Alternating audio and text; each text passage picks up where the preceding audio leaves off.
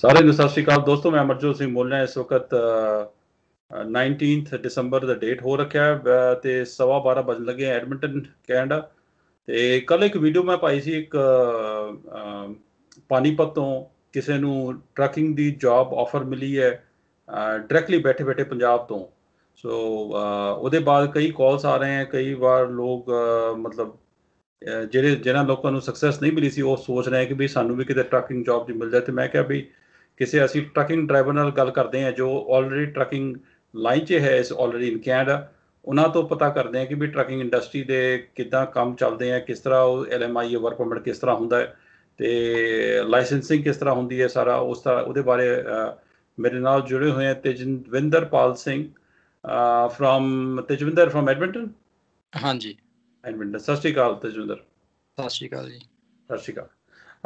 ਸੋ ਪਹਿਲੀ ਗੱਲ ਤੇ ਮੈਂ ਇਹ ਕਲੀਅਰ ਆਊਟ ਕਰ ਦਿਆਂ ਕਿ ਵੀ ਤੁਹਾਡੇ ਜਿਹੜੀ ਇੰਟਰਵਿਊ ਜਾਂ ਜੋ ਵੀ ਤੁਹਾਡੀ ਇਨਫੋਰਮੇਸ਼ਨ ਅਸੀਂ ਲੈ ਰਹੇ ਹਾਂ ਤੁਹਾਡੀ ਕੰਸੈਂਟ ਲੈ ਰਹੇ ਨਾ ਤੁਹਾਡੇ ਤੋਂ ਅਸੀਂ ਕੋਈ ਪੈਸੇ ਲਏ ਨਾ ਤੁਹਾਨੂੰ ਫੋਰਸ ਕਰ ਰਹੇ ਹਾਂ। ਤੁਸੀਂ ਆਪਣੀ ਮਰਜ਼ੀ ਨਾਲ ਦੋ ਦੱਸੋਗੇ ਆਪਣੀ ਮਰਜ਼ੀ ਨਾਲ ਦੱਸੋਗੇ ਕਰੈਕਟ ਹਾਂਜੀ ਸਰ ਜੀ।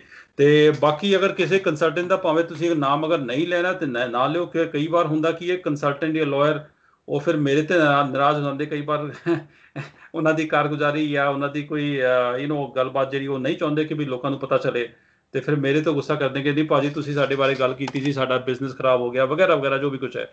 So we want we want to ensure ਕਿ ਵੀ ਕਿਸੇ ਦੀ ਐਟਲੀਸਟ ਬਦਨਾਮੀ ਨਾ ਹੋਏ ਪਰ ਆਪਾਂ ਜਨਰਲ ਪ੍ਰੈਕਟਿਸ ਬਾਰੇ ਗੱਲ ਕਰ ਸਕਦੇ ਹਾਂ। ਤੇਜਵਿੰਦਰ ਜੀ ਇਹਦਾ ਤੁਸੀਂ ਮੈਨੂੰ ਦੱਸੋ ਕਿ ਤੁਸੀਂ ਕੈਨੇਡਾ ਕਦੋਂ ਆਏ ਕਿੰਨੇ ਚਿਰ ਹੋ ਗਿਆ ਤੁਹਾਨੂੰ ਆਏ ਹੋਏ? ਸਰ ਮੈਂ 2017 2 ਅਕਤੂਬਰ ਨੂੰ ਕੈਨੇਡਾ ਆਇਆ ਸੀ। ਮੈਂ ਆਇਆ ਸੀ ਇੰਡੀਆ ਤੋਂ ਫਾਰਮਿੰਗ ਵਰਕ ਪਰਮਿਟ ਤੇ। ਇੱਥੇ ਖੜਾ ਥੋੜਾ ਦੁੱਖ ਜਾ ਥੋੜਾ ਇੱਥੋਂ ਚੱਲਦੇ ਆ ਬੜਾ ਬੜੀ ਇੰਟਰਸਟਿੰਗ ਤੁਸੀਂ ਦੱਸਿਆ। ਫਾਰਮਿੰਗ ਵਰਕ ਵੀਜ਼ਾ ਤੁਹਾਨੂੰ ਮਿਲ ਕਿਸ ਤਰ੍ਹਾਂ ਗਿਆ? ਫਾਰਮਿੰਗ ਵਰਕ ਵੀਜ਼ਾ ਤੇ ਨਾਰਮਲੀ ਕਈਆਂ ਦਾ ਖਿਆਲ ਹੈ ਕਿ ਵੀ ਅੱਜਕੱਲ ਵੀਜ਼ਾ ਮਿਲਦੇ ਨਹੀਂ ਉਸ ਜ਼ਮਾਨੇ ਵਿੱਚ ਵੀਜ਼ਾ ਮਿਲਦੇ ਸੀ। ਤੁਹਾਡਾ ਜੌਬ ਕੀ ਸੀ ਇਨੀਸ਼ੀਅਲ ਜਿਹੜਾ ਤੁਹਾਨੂੰ ਵਰਕ ਵੀਜ਼ਾ ਮਿਲਿਆ? ਕਿਹੜੇ ਤੁਸੀਂ ਖੇਤਾਂ 'ਚ ਕੰਮ ਕਰਨੇ? ਕੋਈ ਬਲੂਬੈਰੀ ਟਾਈਪ ਕੰਮ ਕਰਨ ਆਏ ਸੀ ਜਾਂ ਕਿਸ ਤਰ੍ਹਾਂ? ਬਲੂਬੈਰੀ ਫਾਰਮ ਸੀ। ਅੱਛਾ। ਉਹਦੇ ਵਿੱਚ ਮੈਨੂੰ ਐਲਐਮਆਈ ਮਿਲੀ ਸੀ ਉਹਦੇ ਚ 2 ਸਾਲ ਦਾ ਵਰਕ ਪਰਮਿਟ ਸੀ ਜੀ ਜੀ। ਅੱਛਾ ਅੱਛਾ ਤੇ ਤੁਹਾਨੂੰ ਉੱਥੇ ਜਿਹੜਾ ਦਿੱਲੀ ਤੋਂ ਵੀਜ਼ਾ ਮਿਲਿਆ ਉਹ ਤੁਹਾਡਾ ਇੰਟਰਵਿਊ ਵੀ ਲਿਆ ਸੀ ਜਾਂ ਬਗੈਰ ਇੰਟਰਵਿਊ ਦੇ ਵੀਜ਼ਾ ਮਿਲ ਗਿਆ ਵਰਕ ਵੀਜ਼ਾ ਦਿੱਲੀ ਤੋਂ ਮੇਰਾ ਕੋਈ ਇੰਟਰਵਿਊ ਨਹੀਂ ਸੀ। ਦਿੱਲੀ ਤੋਂ ਇੰਡੀਆ ਸਿਰਫ ਮੇਰਾ ਮੈਡੀਕਲ ਹੋਇਆ ਸੀ। ਅੱਛਾ। ਤੋਂ ਬਾਅਦ ਇੱਥੇ ਆ ਕੇ ਜਦੋਂ ਇਮੀਗ੍ਰੇਸ਼ਨ ਨੇ ਕੁਝ ਕੁਐਸਚਨ ਕੀਤੇ ਸੀ ਮੇਰੇ ਨਾਲ। ਜੀ। ਜਿਨ੍ਹਾਂ ਦੇ ਫਾਰਮ ਤੇ ਮੈਂ ਆਇਆ ਸੀ। ਉਹਨਾਂ ਦੇ ਨਾਲ ਵੀ ਉਹਨਾਂ ਗੱਲ ਕੀਤੀ ਸੀ ਕਿ ਤੁਹਾਡੇ ਫਾਰਮ ਤੇ ਕੋਈ ਇਦਾਂ ਬੰਦਾ ਆਇਆ ਕਿ ਉਹ ਸਾਨੂੰ ਕਹਿ ਰਿਹਾ ਕਿ ਮੈਂ ਉਹਦਾ ਮਤਲਬ ਜਿਵੇਂ ਮੇਰੀ ਫਾਈਲ ਪ੍ਰੋਸੈਸ ਹੋਈ ਸੀ ਸਾਰੀ ਤੇ ਉਹਦੇ ਬਾਰੇ ਗੱਲ ਕੀਤੀ ਸੀ ਉਹਨਾਂ ਨੇ ਫਿਰ ਉਹਨਾਂ ਨੇ ਕਿਹਾ ਕਿ ਅਸੀਂ ਇਹਨੂੰ ਪੇਪਰ ਦਿੱਤੇ ਹੋਏ ਨੇ ਵੀ ਸਭ ਕੁਝ ਅਸੀਂ ਇਹਨੂੰ ਇਥੋਂ ਪ੍ਰੋਵਾਈਡ ਕੀਤਾ। ਤੇ ਫਿਰ ਉਹਨਾਂ ਨੇ ਮੈਨੂੰ ਐਂਟਰੀ ਦਿੱਤੀ ਸੀ 2 ਸਾਲ ਦੀ। ਜੀ ਥੋੜਾ ਜਿਹਾ ਇੱਥੇ ਥੋੜਾ ਬੈਕ ਚੱਲਦੇ ਆਪਾਂ। ਤੁਸੀਂ ਪੰਜਾਬ ਕੀ ਕਰਦੇ ਸੀ ਜੌਬ ਵਾਲਾ ਕੀ ਤੁਹਾਡਾ ਬਿਜ਼ਨਸ ਆ? ਖੇਤੀ ਕਰਦੇ ਸੀ ਕੀ ਕੁਝ ਹੋਰ ਕੁਝ ਹਾਂਜੀ ਮੈਂ ਕਰਨਾਲ ਹਰਿਆਣੇ ਤੋਂ ਆ ਉੱਥੇ ਵੀ ਮੇਰਾ ਖੇਤੀਬਾੜੀ ਦਾ ਹੀ ਕੰਮ ਸੀ। ਜੀ। ਤੇ ਹਾਂਜੀ ਉੱਥੋਂ ਆਉਣ ਵਾਸਤੇ ਜਿੱਦਾਂ ਕਿ ਮੈਨੂੰ ਸਾਰੇ ਆਪਣੀ ਦੱਸਣਾ ਪਿਆ ਸੀ ਕਿ ਮੈਂ ਕਿੰਨਾ ਟਾਈਮ ਹੋ ਗਿਆ ਮੇਰਾ ਕੀ ਐਕਸਪੀਰੀਅੰਸ ਹੈ ਇੱਥੇ ਸਾਰਾ ਕੁਝ ਤੇ ਉਹਦੇ ਰਿਗਾਰਡਿੰਗ ਕੁਝ ਕਾਫੀ ਲੰਬਾ ਪ੍ਰੋਸੈਸ ਸੀ ਉੱਥੇ ਵੀ। ਓਕੇ ਸੋ uh, ਇਹ ਜਿਹੜਾ ਤੁਹਾਨੂੰ ਜੌਬ ਮਿਲੀ ਹੈ, ਇਹ ਜੌਬ ਕਿਹੜੇ ਤਰੀਕੇ ਨਾਲ, ਕਿਸ ਜ਼ਰੀਏ ਨਾਲ ਮਿਲੀ ਹੈ? ਜੌਬ ਮਤਲਬ ਕਿ ਜੌਬ ਦਾ, ਜਿਹੜੇ ਲੋਕ ਹੁਣ ਸੁਣ ਰਹੇ ਆ, ਤੁਹਾਡੀ ਆਵਾਜ਼ ਨੂੰ ਦੇਖ ਰਹੇ ਆ, ਜਿਹੜੇ ਹੁਣ ਇਸ ਵਕਤ ਹਰਿਆਣੇ, ਪੰਜਾਬ 'ਚ ਖੇਤੀ ਕਰਦੇ ਆ, ਉਹ ਵੀ ਉਹਨਾਂ ਦੇ ਆਸ ਹੈ ਕਿ ਸ਼ਾਇਦ ਮੈਨੂੰ ਵੀ ਇਸ ਤਰ੍ਹਾਂ ਦੀ ਕੋਈ ਜੌਬ ਮਿਲ ਜਾਏ। ਤੇ ਜੌਬ ਮਿਲਦੀ ਕਿਸ ਤਰ੍ਹਾਂ ਹੈ? ਕਿਸ ਤਰ੍ਹਾਂ ਤੁਸੀਂ ਉਹ ਕੰਟੈਕਟ ਕੀਤਾ ਵੈਸੇ? ਉਹ ਇੱਥੋਂ ਸਰ ਆਪਣੇ ਕੈਨੇਡਾ ਤੋਂ ਹੀ ਸੀ, ਆਪਣੇ ਰਿਲੇਟਿਵ ਸੀ, ਤੇ ਉਹਨਾਂ ਨੇ, ਕਿਉਂਕਿ ਇੱਥੇ ਤੁਹਾਨੂੰ ਪਤਾ ਐਲਐਮਆਈ ਜਦੋਂ ਨਿਕਲਦੀਆਂ ਨੇ ਫਾਰਮਿੰਗ ਤੇ ਇਹਨਾਂ ਨੂੰ ਮਿਲਦੀਆਂ ਨੇ। ਜੀ। ਉਹਨਾਂ ਨੇ ਫਿਰ ਇੱਕ ਐਲਐਮਆਈ ਮੇਰੇ ਵਾਸਤੇ ਉਹਨਾਂ ਗੱਲ ਕੀਤੀ ਕਿ ਸੀ ਆਪਣੇ ਕਿਸੇ ਮੁੰਡੇ ਨੂੰ ਬੁਲਾਉਣਾ ਇੱਥੇ ਤੇ ਤੁਸੀਂ ਸਾਨੂੰ ਇੱਕ ਦੇ ਸਕਦੇ ਹੋ। ਉਹਨਾਂ ਕਿਹਾ ਵੀ ਸਾਨੂੰ ਵਰਕਰਾਂ ਦੀ ਲੋੜ ਹੈ ਇੱਥੇ, ਪਰ ਲੇਬਰ ਇੱਕ ਲੇਬਰ ਦੇ ਜਿਸੀ ਕੋਈ ਮਤਲਬ ਇੰਨੀ ਵੱਡੀ ਜੌਬ ਨਹੀਂ ਸੀ ਕਿ ਮੈਂ ਕੋਈ ਸੁਪਰਵਾਈਜ਼ਰ ਆਇਆ ਸੀ ਜਾਂ ਕੁਝ ਉਹ ਇੱਕ ਲੇਬਰ ਕਰਨੀ ਸੀ ਉੱਥੇ ਛੋਟੇ ਛੋਟੇ ਪਲਾਂਟ ਸੀ, ਉਹਨਾਂ ਨੂੰ ਸਪਰੇਅ ਵਗੈਰਾ ਕਰਨੀ, ਉਹਨਾਂ ਦੀ ਟੇਕ ਕੇਅਰ ਕਰਨੀ। ਉਹ ਇਦਾਂ ਦੀ ਕੋਈ ਜੌਬ ਸੀ ਤੇ ਉੱਥੇ ਮੈਂ ਕੰਮ ਕੀਤਾ ਸੀ 13 14 ਮਹੀਨੇ। ਆਉਣ ਤੋਂ ਬਾਅਦ ਤੇਜਵਿੰਦਰ ਇਸ ਇਹਦਾ ਮਤਲਬ ਤੇ ਇਹਦਾ ਮਤਲਬ ਤੇ ਸਾਫ਼ ਇਸ ਤਰ੍ਹਾਂ ਹੈ ਕਿ ਹੁਣ ਵੀ ਮੇਰੇ ਖਿਆਲ ਹੁਣ ਜਿਹੜਾ ਚਲੋ ਮੇਰੇ ਖਿਆਲ ਨੂੰ ਪਤਾ ਨਹੀਂ ਵੈਨਕੂਵਰ ਐਵਰਸਫੋਰਡ ਸਾਰੀ ਏਰੀਆ ਤੇ ਸ਼ਾਇਦ ਹੁਣ ਖੇਤੀ ਦਾ ਕੰਮ ਚੱਲ ਰਿਹਾ ਨਹੀਂ ਚੱਲਿਆ ਕਿਉਂਕਿ ਠੰਡ ਠੰਡ ਸਨੋ ਆ ਸ਼ਾਇਦ ਹੋ ਰਹੀ ਹੋਗੀ ਲੇਕਿਨ ਇਹ ਜਿਹੜਾ ਸਮਰ ਸ਼ੁਰੂ ਹੋਏਗਾ ਮਾਰਚ ਅਪ੍ਰੈਲ ਤੋਂ ਬਾਅਦ ਜਿਹੜਾ ਉਹ ਸਮਰ ਸਮਰ ਸੀਜ਼ਨ ਵਿੱਚ ਉੱਥੇ ਤੇ ਉਹਨਾਂ ਨੂੰ ਵਰਕਰਾਂ ਦੀ ਲੋੜ ਪੈਣੀ ਪੈਣੀ ਕਿਉਂਕਿ ਫਾਰਮ ਤੇ ਜੌਬਸ ਤੇ ਨਿਕਲਦੀਆਂ ਕਾਫੀ ਮੈਂ ਦੇਖਿਆ ਵੀ ਹੈ ਕਿ ਸਵੇਰੇ ਸਵੇਰੇ ਉਹ ਮੁੰਡਿਆਂ ਨੂੰ ਚੱਕ ਕੇ ਫਿਰ ਉਹ ਲੈ ਜਾਂਦੇ ਆ ਉਹ ਆਪਣੇ ਬੱਸ 'ਚ ਭਰ ਕੇ ਫਿਰ ਸ਼ਾਮ ਨੂੰ ਛੱਡ ਜਾਂਦੇ। ਕੰਮ ਕੰਮ ਤੇ ਹੈ ਫਾਰਮਿੰਗ ਦਾ ਕੰਮ ਤੇ ਆਲਰੇਡੀ ਅਵੇਲੇਬਲ ਹੈ ਤੇ ਉਹਨਾਂ ਨੂੰ ਉਹਨਾਂ ਨੂੰ ਵਰਕਰਾਂ ਦੀ ਵੀ ਲੋੜ ਹੈ ਕਿ ਉਹ ਪ੍ਰੇਫਰ ਕਰਦੇ ਆ ਕਿ ਵੀ ਇੰਡੀਆ ਤੋਂ ਡਾਇਰੈਕਟਲੀ ਮੰਗਾਇਆ ਜਾਏ ਕਿ ਲੋਕਲੀ ਉਹਨਾਂ ਨੂੰ ਮਿਲ ਜਾਂਦੇ ਵਰਕਰਸ ਨਹੀਂ ਸਰ ਜਿੱਦਾਂ ਕਿ ਹੁੰਦਾ ਕਿ ਕੋਈ ਵੀ ਬੰਦਾ ਜਿਹੜਾ ਇੱਥੇ ਆ ਕੇ ਥੋੜਾ ਜਿਵੇਂ ਹੁਣ ਮੈਨੂੰ ਇੱਥੇ ਇਹਨੂੰ 3 ਸਾਲ ਹੋ ਗਿਆ ਹੁਣ ਕੰਮ ਦੀ ਮੈਨੂੰ ਲੋੜ ਹੈਗੀ ਹਜੇ ਵੀ ਪਰ ਮੈਂ ਹੁਣ ਇਹ ਸੋਚਾਂਗਾ ਕਿ ਜਦੋਂ ਮੈਂ ਇੱਕ ਲੇਬਰ 'ਚ 2 ਸਾਲ ਆਪਣੇ ਕੱਢਤੇ ਆ ਨਾ ਫਿਰ ਮੈਂ ਇਸ ਤੋਂ ਉੱਤੇ ਦੀ ਸੋਚਾਂਗਾ ਥੋੜਾ ਕਿ ਮੈਂ ਹੁਣ ਇਸ ਤੋਂ ਉੱਪਰ ਕੰਮ ਕਰਾਂ ਕੋਈ ਥੋੜਾ ਜਿਹਾ ਮੈਂ ਵੀ ਸੌਖਾ ਹੋ ਜਾ। ਫਿਰ ਜਿਹੜੇ ਨਵੇਂ ਬੰਦੇ ਆਉਂਦੇ ਆ ਉਹ ਥੋੜੇ ਲਾ ਲਓ ਪੰਜਾਬ ਤੋਂ ਇੰਡੀਆ ਤੋਂ ਹਰਿਆਣੇ ਤੋਂ ਕਿਤੋਂ ਵੀ ਉਹ ਬਾਹਰੋਂ ਜਿਹੜੇ ਆਉਂਦੇ ਨੇ ਉਹ ਫਿਰ ਲੇਬਰ ਲਾਈਨ 'ਚ ਉਹੀ ਬੰਦੇ ਇੱਥੇ ਆ ਕੇ ਕੰਮ ਕਰਨਾ ਥੋੜਾ ਕਰਦੇ ਨੇ।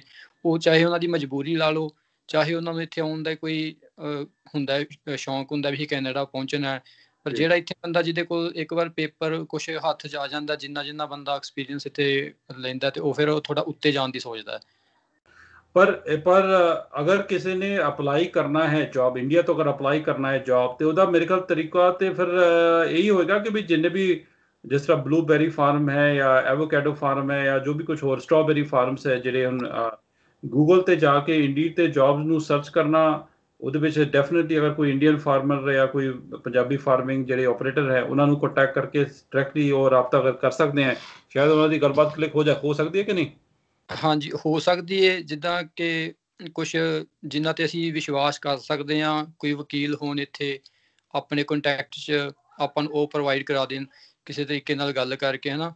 ਜਾਂ ਕੋਈ ਆਪਣਾ ਕੋਈ ਖਾਸ ਬੰਦਾ ਇੱਥੇ ਹੋਵੇ, ਜਾਂ ਉਵੇਂ ਇੱਥੇ ਕਈ ਹੁਣ ਫਰਾਡ ਵੀ ਚੱਲਦੇ ਪਏ ਨੇ ਕੰਮ, ਆਪਣੇ ਤੋਂ ਪੈਸੇ ਲੈ ਲੈਂਦੇ ਨੇ ਥੋੜੇ ਬਹੁਤੇ ਉਹ ਤੇ ਉਹ ਕੋਈ ਗਲਤ ਕਰ ਦਿੰਦੇ ਨੇ। ਹੁਣ ਉੱਥੇ ਬੈਠਾ ਬੰਦਾ ਇੱਥੇ ਵਾਲੇ ਬੰਦੇ ਤੇ ਕੇਸ ਨਹੀਂ ਪਾ ਸਕਦਾ ਕਿ ਮੇਰੇ ਨਾਲ ਇਹਨੇ ਗੱਲ ਕੀਤੀ ਹੈ ਕੁਝ ਵੀ। ਤੇ ਜਿਨ੍ਹਾਂ ਤੇ ਆਪਾਂ ਵਿਸ਼ਵਾਸ ਕਰ ਸਕਦੇ ਆ ਉਹ ਬੰਦੇ ਆਪਾਂ ਨੂੰ ਜੇ ਲੈ ਕੇ ਦੇ ਸਕਦੇ ਨੇ ਐਲਐਮਆਈਏ ਤੇ ਉਹ ਹੋ ਸਕਦਾ ਕੰਮ। ਜੀ। ਤੁਸੀਂ ਤੁਸੀਂ ਗੱਲ ਕੀਤੀ ਪੈਸੇ ਦੀ। ਪੈਸੇ ਦਾ ਕੀ ਕਨੈਕਸ਼ਨ ਹੈ ਇੱਥੇ? ਪੈਸੇ ਕਿੰਨੇ ਚੱਲਦੇ ਆ? ਕੀ ਹੈ ਫੀਸ ਉਹਦੇ ਬਾਰੇ ਥੋੜਾ ਜਿਹਾ ਅਗਰ ਜੇ ਤੁਸੀਂ ਅਗਰ ਜੇ ਚਾਹਣਾ ਪਾ ਸਕਦੇ ਹੋ ਥੋੜਾ ਜਿਹਾ you know just as much as possible ਪੈਸੇ ਦਾ ਕੀ ਹੈ ਸਿਸਟਮ ਪੈਸੇ ਦਾ ਸਰ ਇਦਾਂ ਕਿ ਜੇ ਤਾਂ ਹੁਣ ਇੰਡੀਆ ਤੋਂ ਜੇ ਆਪਾਂ ਉੱਥੇ ਕੋਈ ਜਿਵੇਂ ਏਜੰਟ ਬੈਠੇ ਨੇ ਕੁਝ ਵੀ ਨਾ ਜਿਹੜੇ ਇੰਡੀਆ 'ਚ ਬੈਠੇ ਨੇ ਉਹ ਤਾਂ ਹੁਣ ਕੈਨੇਡਾ ਹੁੰਦੇ ਅਲੱਗ-ਅਲੱਗ ਮੁੰਡੇ ਦੱਸਦੇ ਨੇ ਕਈ ਮਿਲੇ ਵੀ ਇੱਥੇ ਆ ਕੇ ਕੋਈ 25 25 30 30 ਲੱਖ ਰੁਪਇਆ ਵੀ ਦੇ ਕੇ ਉੱਥੇ ਆਉਂਦੇ ਨੇ। ਪਰ ਜੇ ਆਪਾਂ ਨੂੰ ਬੰਦਾ ਸਹੀ ਗਾਈਡ ਕਰ ਦੇਵੇ ਇੱਥੋਂ ਜਿਹੜਾ ਕੋਈ ਆਪਣਾ ਵਿੱਚ ਨਾ ਰੱਖੇ ਚਲੋ ਜਿੰਨੀ ਉਹਦੀ ਪ੍ਰੋਸੈਸਿੰਗ ਦੀ ਫਾਈਲ ਦਾ ਕੋਈ ਲੋਨ ਦਾ ਵੀਜ਼ਾ ਅਪਲਾਈ ਕਰਨ ਦਾ ਚਾਰਜ ਹੁੰਦੇ ਨੇ ਜਾਂ ਕੁਝ ਇਦਾਂ ਥੋੜੇ ਬਹੁਤੇ ਪੈਸੇ ਕੋਈ ਜ਼ਿਆਦਾ ਖਰਚਾ ਨਹੀਂ ਆਉਂਦਾ ਹੁੰਦੇ ਤੇ ਉਹ ਫਿਰ ਆਪਾਂ ਨੂੰ ਡਿਪੈਂਡ ਕਰਦਾ ਹੈ ਕਿ ਉਹ ਆਪਣਾ ਜਿਹੜਾ ਕੋਈ ਇੱਥੇ ਆਪਾਂ ਲਾਇਰ ਜਾਂ ਜਿੰਨੇ ਗੱਲ ਕਰਦੇ ਆ ਉਹ ਕਿੰਨਾ ਕਿਸ ਤਰੀਕੇ ਨਾਲ ਕਰ ਰਿਹਾ ਇਹ ਪੈਸੇ ਇਹ ਪੈਸੇ ਲਾਇਰ ਨੇ ਵੀ ਲੈਣੇ ਆ ਜਾਂ ਮਾਲਕ ਨੇ ਜਿਹੜੇ ਫਾਰਮ ਆਪਰੇਟਰ ਉਹਨਾਂ ਨੇ ਵੀ ਲੈਣੇ ਪੈਸੇ? ਹਾਂਜੀ ਪੈਸੇ ਹੁਣ ਦੇਖੋ ਕਿਉਂਕਿ ਮੈਂ ਉਸ ਚੱਕਰ 'ਚ ਉੱਥੇ ਇੰਡੀਆ ਤੋਂ ਆਉਣ ਲੱਗਿਆ ਮੈਂ ਨਹੀਂ ਸੀ ਪਿਆ ਇਹਦੇ ਵਿੱਚ ਤੇ ਹੁਣ ਮਾਲਕ ਤੇ ਵੀ ਜੇ ਉਹਨੂੰ ਬੰਦਿਆਂ ਦੀ ਲੋੜ ਹੈ ਤਾਂ ਦੇਖੋ ਉਹਨੇ ਨਹੀਂ ਲੈਣੇ ਜੇ ਅਗਲੇ ਬੰਦੇ ਨੇ ਕੋਈ ਇੱਕ ਬਿਜ਼ਨਸ ਇਸ ਤਰੀਕੇ ਨਾਲ ਕੀਤਾ ਕਿ ਵੀ ਮੈਨੂੰ ਤੇ ਪੈਸੇ ਚਾਹੀਦੇ ਨੇ ਮੈਂ ਬੰਦਾ ਮੰਗਾਉਂਦਾ ਹਨਾ ਫਿਰ ਉਹ ਬੰਦੇ ਵਿੱਚ ਲੈ ਵੀ ਲੈਂਦੇ ਨੇ। ਸ਼ੋਰ ਸ਼ੋਰ ਓਕੇ ਚਲੋ ਤੁਸੀਂ ਫਾਰਮ ਵੀਜ਼ਾ ਲੈ ਕੇ ਪਹੁੰਚ ਗਏ। ਇੱਥੇ ਤੁਸੀਂ ਕੰਮ ਕੀਤਾ। ਉਹਦੇ ਬਾਅਦ ਫਿਰ ਕੀ ਗੱਲ ਬਣੀ ਉੱਥੇ? ਮਤਲਬ ਪ੍ਰੋਮੋਸ਼ਨ ਲੈਣੀ ਸੀ ਤੁਸੀਂ ਅੱਗੇ ਪੀਐਨਪੀ ਫਾਈਲ ਲਾਉਣ ਦੀ ਜਾਂ ਕਿਸੇ ਹੋਰ ਕੋਈ ਲਾਈਨ ਆਪਣੇ ਆਪ ਹੀ ਚੇਂਜ ਕਰ ਲਈ? ਉਹਦੇ ਬਾਅਦ ਕੀ ਬਣਿਆ ਫਿਰ? ਉਹ ਸਰ ਇਦਾਂ ਸੀ ਕਿ ਜਦੋਂ ਮੈਂ 13 14 ਮਹੀਨੇ ਕੰਮ ਕੀਤਾ ਉੱਥੇ ਫਾਰਮਿੰਗ 'ਚ ਤੇ ਉਸ ਤੋਂ ਬਾਅਦ ਫਿਰ ਥੋੜਾ ਮੈਨੂੰ ਪੀਆਰ ਬਾਰੇ ਵੀ ਸੋਚਣ ਲੱਗ ਗਿਆ ਹੁਣ ਪੀਆਰ ਵੀ ਲੈਣੀ ਇੱਥੇ ਆਏ ਆਪਾਂ ਨਾ। ਤੇ ਜਿਹੜਾ ਫਾਰਮਿੰਗ ਲਾਈਨ ਨੇ ਉਹਦੇ ਵਿੱਚ ਵੀ ਚਲੋ ਜਿਵੇਂ ਦੀ ਤੁਹਾਡੀ ਹੈਲਪ ਹੋ ਜੇ ਨਾ ਕਿਸੇ ਨੂੰ ਕਿਸੇ ਤਰੀਕੇ ਦਾ ਬੰਦਾ ਟੱਕਰਦਾ ਕਿਸੇ ਨੂੰ ਕਿਵੇਂ ਦਾ। ਮੈਂ ਤਾਂ ਚੂਜ਼ ਕੀਤੀ ਸੀ ਕਿ ਮੈਂ ਡਰਾਈਵਿੰਗ ਲਾਈਨ 'ਚ ਜਾਵਾਂ। ਮੈਂ ਜਿੰਨਿਆਂ ਨਾਲ ਵੀ ਸਲਾਹ ਕੀਤੀ ਬੰਦਿਆਂ ਸਾਰਿਆਂ ਨੇ ਮੈਨੂੰ ਇਹ ਦੱਸਿਆ ਕਿ ਥੋੜਾ ਡਰਾਈਵਿੰਗ ਲਾਈਨ 'ਚ ਪੀਆਰ ਈਜ਼ੀ ਵੀ ਹੈ ਤੇ ਇੱਕ ਉਧਰੋਂ ਥੋੜੀ ਮਨੀ ਵੀ ਜ਼ਿਆਦਾ ਬਣਦੀ ਹੈ।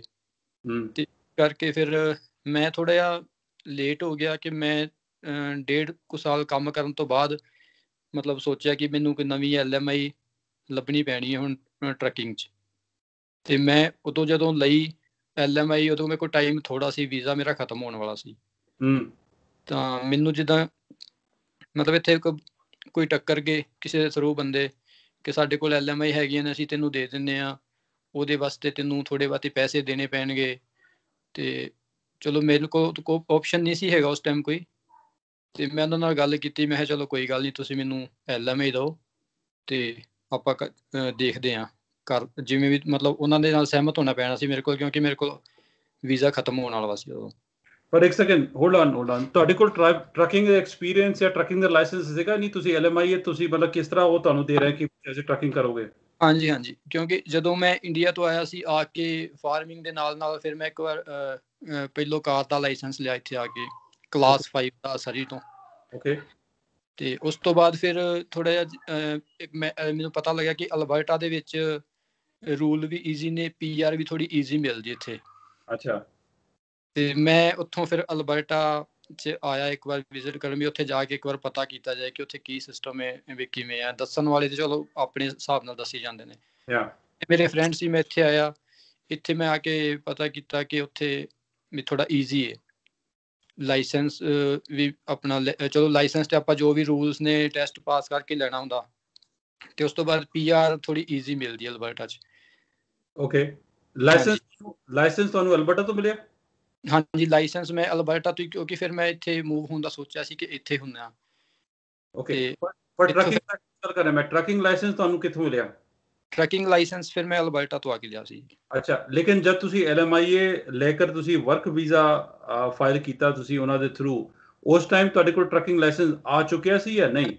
ਉਸ ਟਾਈਮ ਮੇਰੇ ਕੋਲ ਆ ਚੁੱਕਿਆ ਸੀ ਕਿਉਂਕਿ ਉਦੋਂ ਮੈਂ ਮਤਲਬ 1.5 ਸਾਲ ਬਾਅਦ ਲੈ ਲਿਆ ਸੀ ਲਾਇਸੈਂਸ ਅਲਬਰਟਾ ਤੋਂ ਲੈ ਲਿਆ ਸੀ।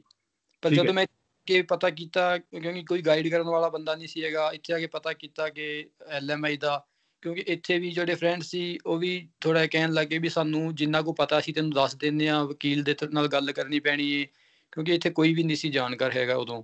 ਫਿਰ ਮੈਂ ਦੁਬਾਰਾ ਉੱਥੇ ਸਰੀ ਮੈਨੂੰ ਫਿਰ ਵੀ 1.5 ਸਾਲ ਹੋ ਗਿਆ ਸੀ ਰਹਿੰਦੇ ਨੂੰ ਥੋੜੇ ਬਹੁਤੇ ਜਦੋਂ ਆਪਣੀ ਫਰੈਂਡ ਸਰਕਲ ਬਣ ਜਾਂਦਾ। ਫਿਰ ਮੈਂ ਉੱਥੇ ਵਾਪਸ ਆ ਅਲਬਰਟਾ ਦਾ ਲਾਇਸੈਂਸ ਸੀ ਮੇਰੇ ਕੋਲ ਫਿਰ ਮੈਂ ਉੱਥੇ ਵਾਪਸ ਗਿਆ।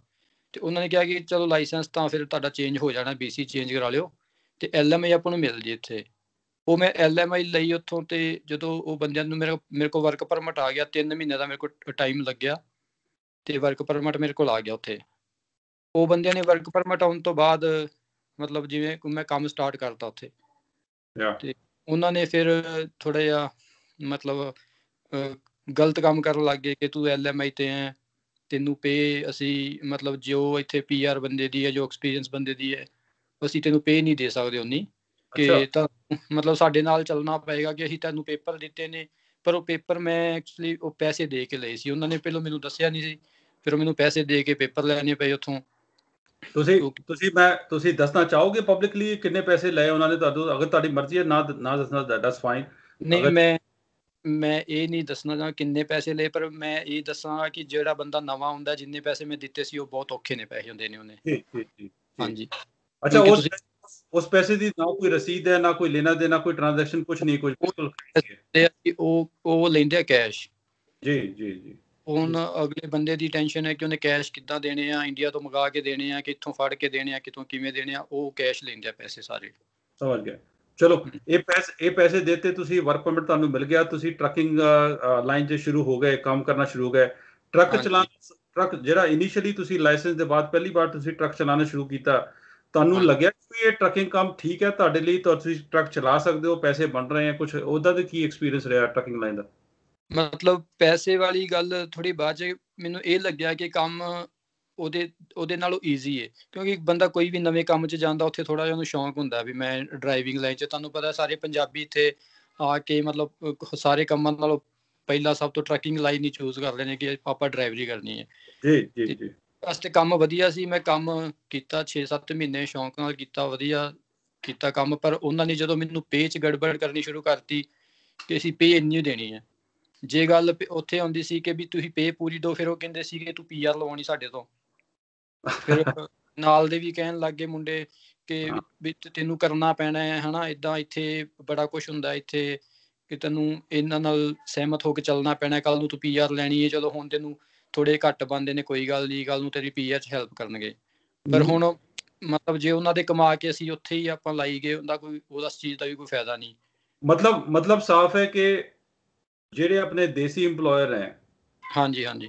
ਮੈਂ ਕਿਸੇ ਦਾ ਨਾਮ, ਮੈਨੂੰ ਪਤਾ ਵੀ ਨਹੀਂ ਨਾ ਮੈਂ ਨਾਮ ਲੈਣਾ ਕਿਸੇ ਦਾ। ਮਤਲਬ ਕਿ ਦੇਸੀ EMPLOYER ਨੇ ਪੈਸੇ ਲੇਕਰ ਐਲਐਮਆਈ ਦਵਾ ਕੇ, ਤੁਹਾਨੂੰ ਵਰਕ ਪਰਮਿਟ ਦਵਾ ਕੇ, ਤੁਹਾਨੂੰ ਟਰੱਕਿੰਗ ਚ ਲਾਇਆ, ਲੇਕਿਨ ਫਿਰ ਵੀ ਉਹ ਇਹ ਐਕਸਪੈਕਟ ਕਰਦੇ ਕਿ ਤੁਸੀਂ ਉਹਨਾਂ ਦੇ ਥੱਲੇ ਹੁਕਮ ਤੇ ਪਾਬੰਦ ਰਹੋਗੇ। ਜੋ ਉਸ ਤਰ੍ਹਾਂ ਉਹਨਾਂ ਨੇ ਕਰਾਣਾ ਤੁਹਾਡੇ ਤੋਂ ਕੰਮ ਘੱਟ ਪੈਸੇ ਦੇਣੇ, ਜੋ ਕਰਨਾ ਓਵਰ ਟਾਈਮ ਕਰਾਣਾ ਉਹ ਕੁਝ ਕਰਨਾ, ਉਹਨਾਂ ਨੇ ਤੁਸੀਂ ਉਹਨਾਂ ਦੇ ਗੁਲਾਮ ਰਹੋਗੇ। ਇਸ ਦਾ ਦੈਟਸ ਵਾਟ ਇਟ ਇਜ਼ ਪਰ ਉੱਥੇ ਕੋਈ ਓਵਰ ਟਾਈਮ ਨਹੀਂ ਹੁੰਦਾ। ਜਦੋਂ ਆਪਾਂ ਐਲਐਮਆਈ ਲੈ ਲੈਂਦੇ ਆ ਕੁਝ ਬੰਦੇ ਨੇ ਮੈਂ ਸਾਰੇ ਦੇਸੀਆਂ ਨੂੰ ਨਹੀਂ ਕੋਈ ਕਹਿੰਦਾ। ਕੁਝ ਬੰਦੇ ਨੇ ਜਿਹੜੇ ਉੱਥੇ ਕੋਈ ਓਵਰ ਟਾਈਮ ਨਹੀਂ ਤੁਹਾਡਾ ਕੋਈ ਤੁਹਾਡੀ ਵੇਟਿੰਗ ਨਹੀਂ ਨਾ ਤੁਹਾਡੀ ਕੋਈ ਬਾਹਰ ਸ਼ਿਫਟ ਨਾਈਟ ਦੇ ਕੋਈ ਪੈਸੇ ਨੇ ਨਾ ਹੀ ਤੁਹਾਨੂੰ ਪ੍ਰੋਪਰ ਪੇ ਮਿਲਦੀ ਏ ਤੇ ਉਹਦੇ ਬਾਰੇ ਹੁਣ ਫਿਰ ਜਦੋਂ ਬੰਦੇ ਨੂੰ ਕਿਸੇ ਚੀਜ਼ ਦੀ ਜ਼ਰੂਰਤ ਹੁੰਦੀ ਹੈ ਫਿਰ ਉਹ ਥੱਲੇ ਲੱਗ ਕੇ ਕੰਮ ਕਰਨਾ ਪੈਂਦਾ ਉੱਥੇ। ਜੀ ਜੀ। ਨਹੀਂ ਚੱਲਦੀ ਫਿਰ ਹਾਂ ਚੱਲਦੀ ਹੈ ਰਾਈਟ ਸਾਰੇ ਨੇ ਪਰ ਬੰਦਾ ਜਿਹੜਾ ਹੁੰਦਾ ਉਹ ਨਵਾਂ ਜਿੰਦੇ ਕੋਲ ਪੇਪਰ ਨਹੀਂ ਹੁੰਦੇ ਉਹ ਡਰਦਾ ਹੈ ਕਿ ਮੇਰੇ ਤੇ ਕੋਈ ਖਤਰਾ ਨਾ ਆਏ ਵੀ ਮੇਰੇ ਤੇ ਕੋਈ ਗੱਲ ਨਾ ਜੇ ਕੱਲ ਨੂੰ ਨਾ ਕੋਈ ਹੋ ਸਕਦਾ ਹੈ ਕਿ ਇਮੀਗ੍ਰੇਸ਼ਨ ਤੱਕ ਕੋਈ ਐਵੇਂ ਗੱਲ ਜਾਏ ਤੇ ਅਗਲੇ ਮੈਨੂੰ ਚੱਕ ਕੇ ਕਹਿਣ ਵੀ ਤੂੰ ਚੱਲ ਇੱਥੋਂ। ਜੀ।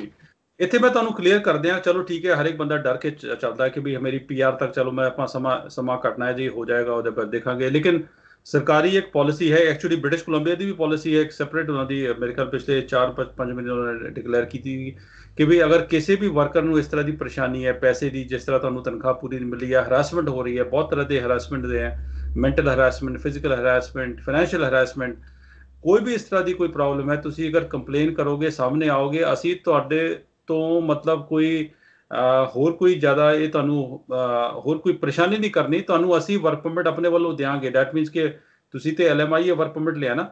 ਅਗਰ ਜੇ ਕੰਪਲੇਨ ਅਗਰ ਪ੍ਰੋਪਰ ਅਗਰ ਵੈਰੀਫਾਈ ਹੋ ਗਈ ਤੇ ਤੁਹਾਨੂੰ ਅਸੀਂ ਉਥੋਂ ਹਟਾ ਕੇ ਤੁਹਾਨੂੰ ਓਪਨ ਵਰਕ ਪਰਮਿਟ ਦੇ ਕੇ ਫॉर 1 ਇਅਰ ਤੁਸੀਂ ਜਿੱਥੇ ਮਰਜ਼ੀ ਕੰਮ ਕਰਨਾ ਕਰੋ ਅਸੀਂ ਉੱਤੇ ਮੁਕਦਮਾ ਕਰਕੇ ਅਸੀਂ ਪੈਸੇ ਕਢਾ ਕੇ ਤੁਹਾਨੂੰ ਸਪੋਜ਼ ਅਗਰ ਨੇ ਪੈਸੇ ਰੱਖਣੇ ਤੇ ਉਹ ਤੁਹਾਨੂੰ ਕਰਾ ਕੇ ਦੇਣਗੇ। ਪਰ ਮੈਂ ਕਈ ਜਿਹੜੇ ਵਰਕਰਾਂ ਨੂੰ ਕਿਹਾ ਕਿ ਤੁਸੀਂ ਕਰੋ ਲੇਕਿਨ ਹਰ ਇੱਕ ਜਸਟ ਲਾਈਕ ਯੂ ਸੈਡ ਹਰ ਇੱਕ ਬੰਦਾ ਡਰਦਾ ਹੈ ਕਿ ਵੀ ਆਪਾਂ ਕੀ ਕਰਨਾ ਟਾਈਮ ਕਟੋ ਜੀ ਆਪਣਾ ਕਰਗੇ ਸੋ ਐਨੀਵੇ ਸੋ ਕਿੰਨੇ ਮਹੀਨੇ ਤੁਸੀਂ ਕੰਮ ਕੀਤਾ ਫਿਰ ਇੱਥੇ?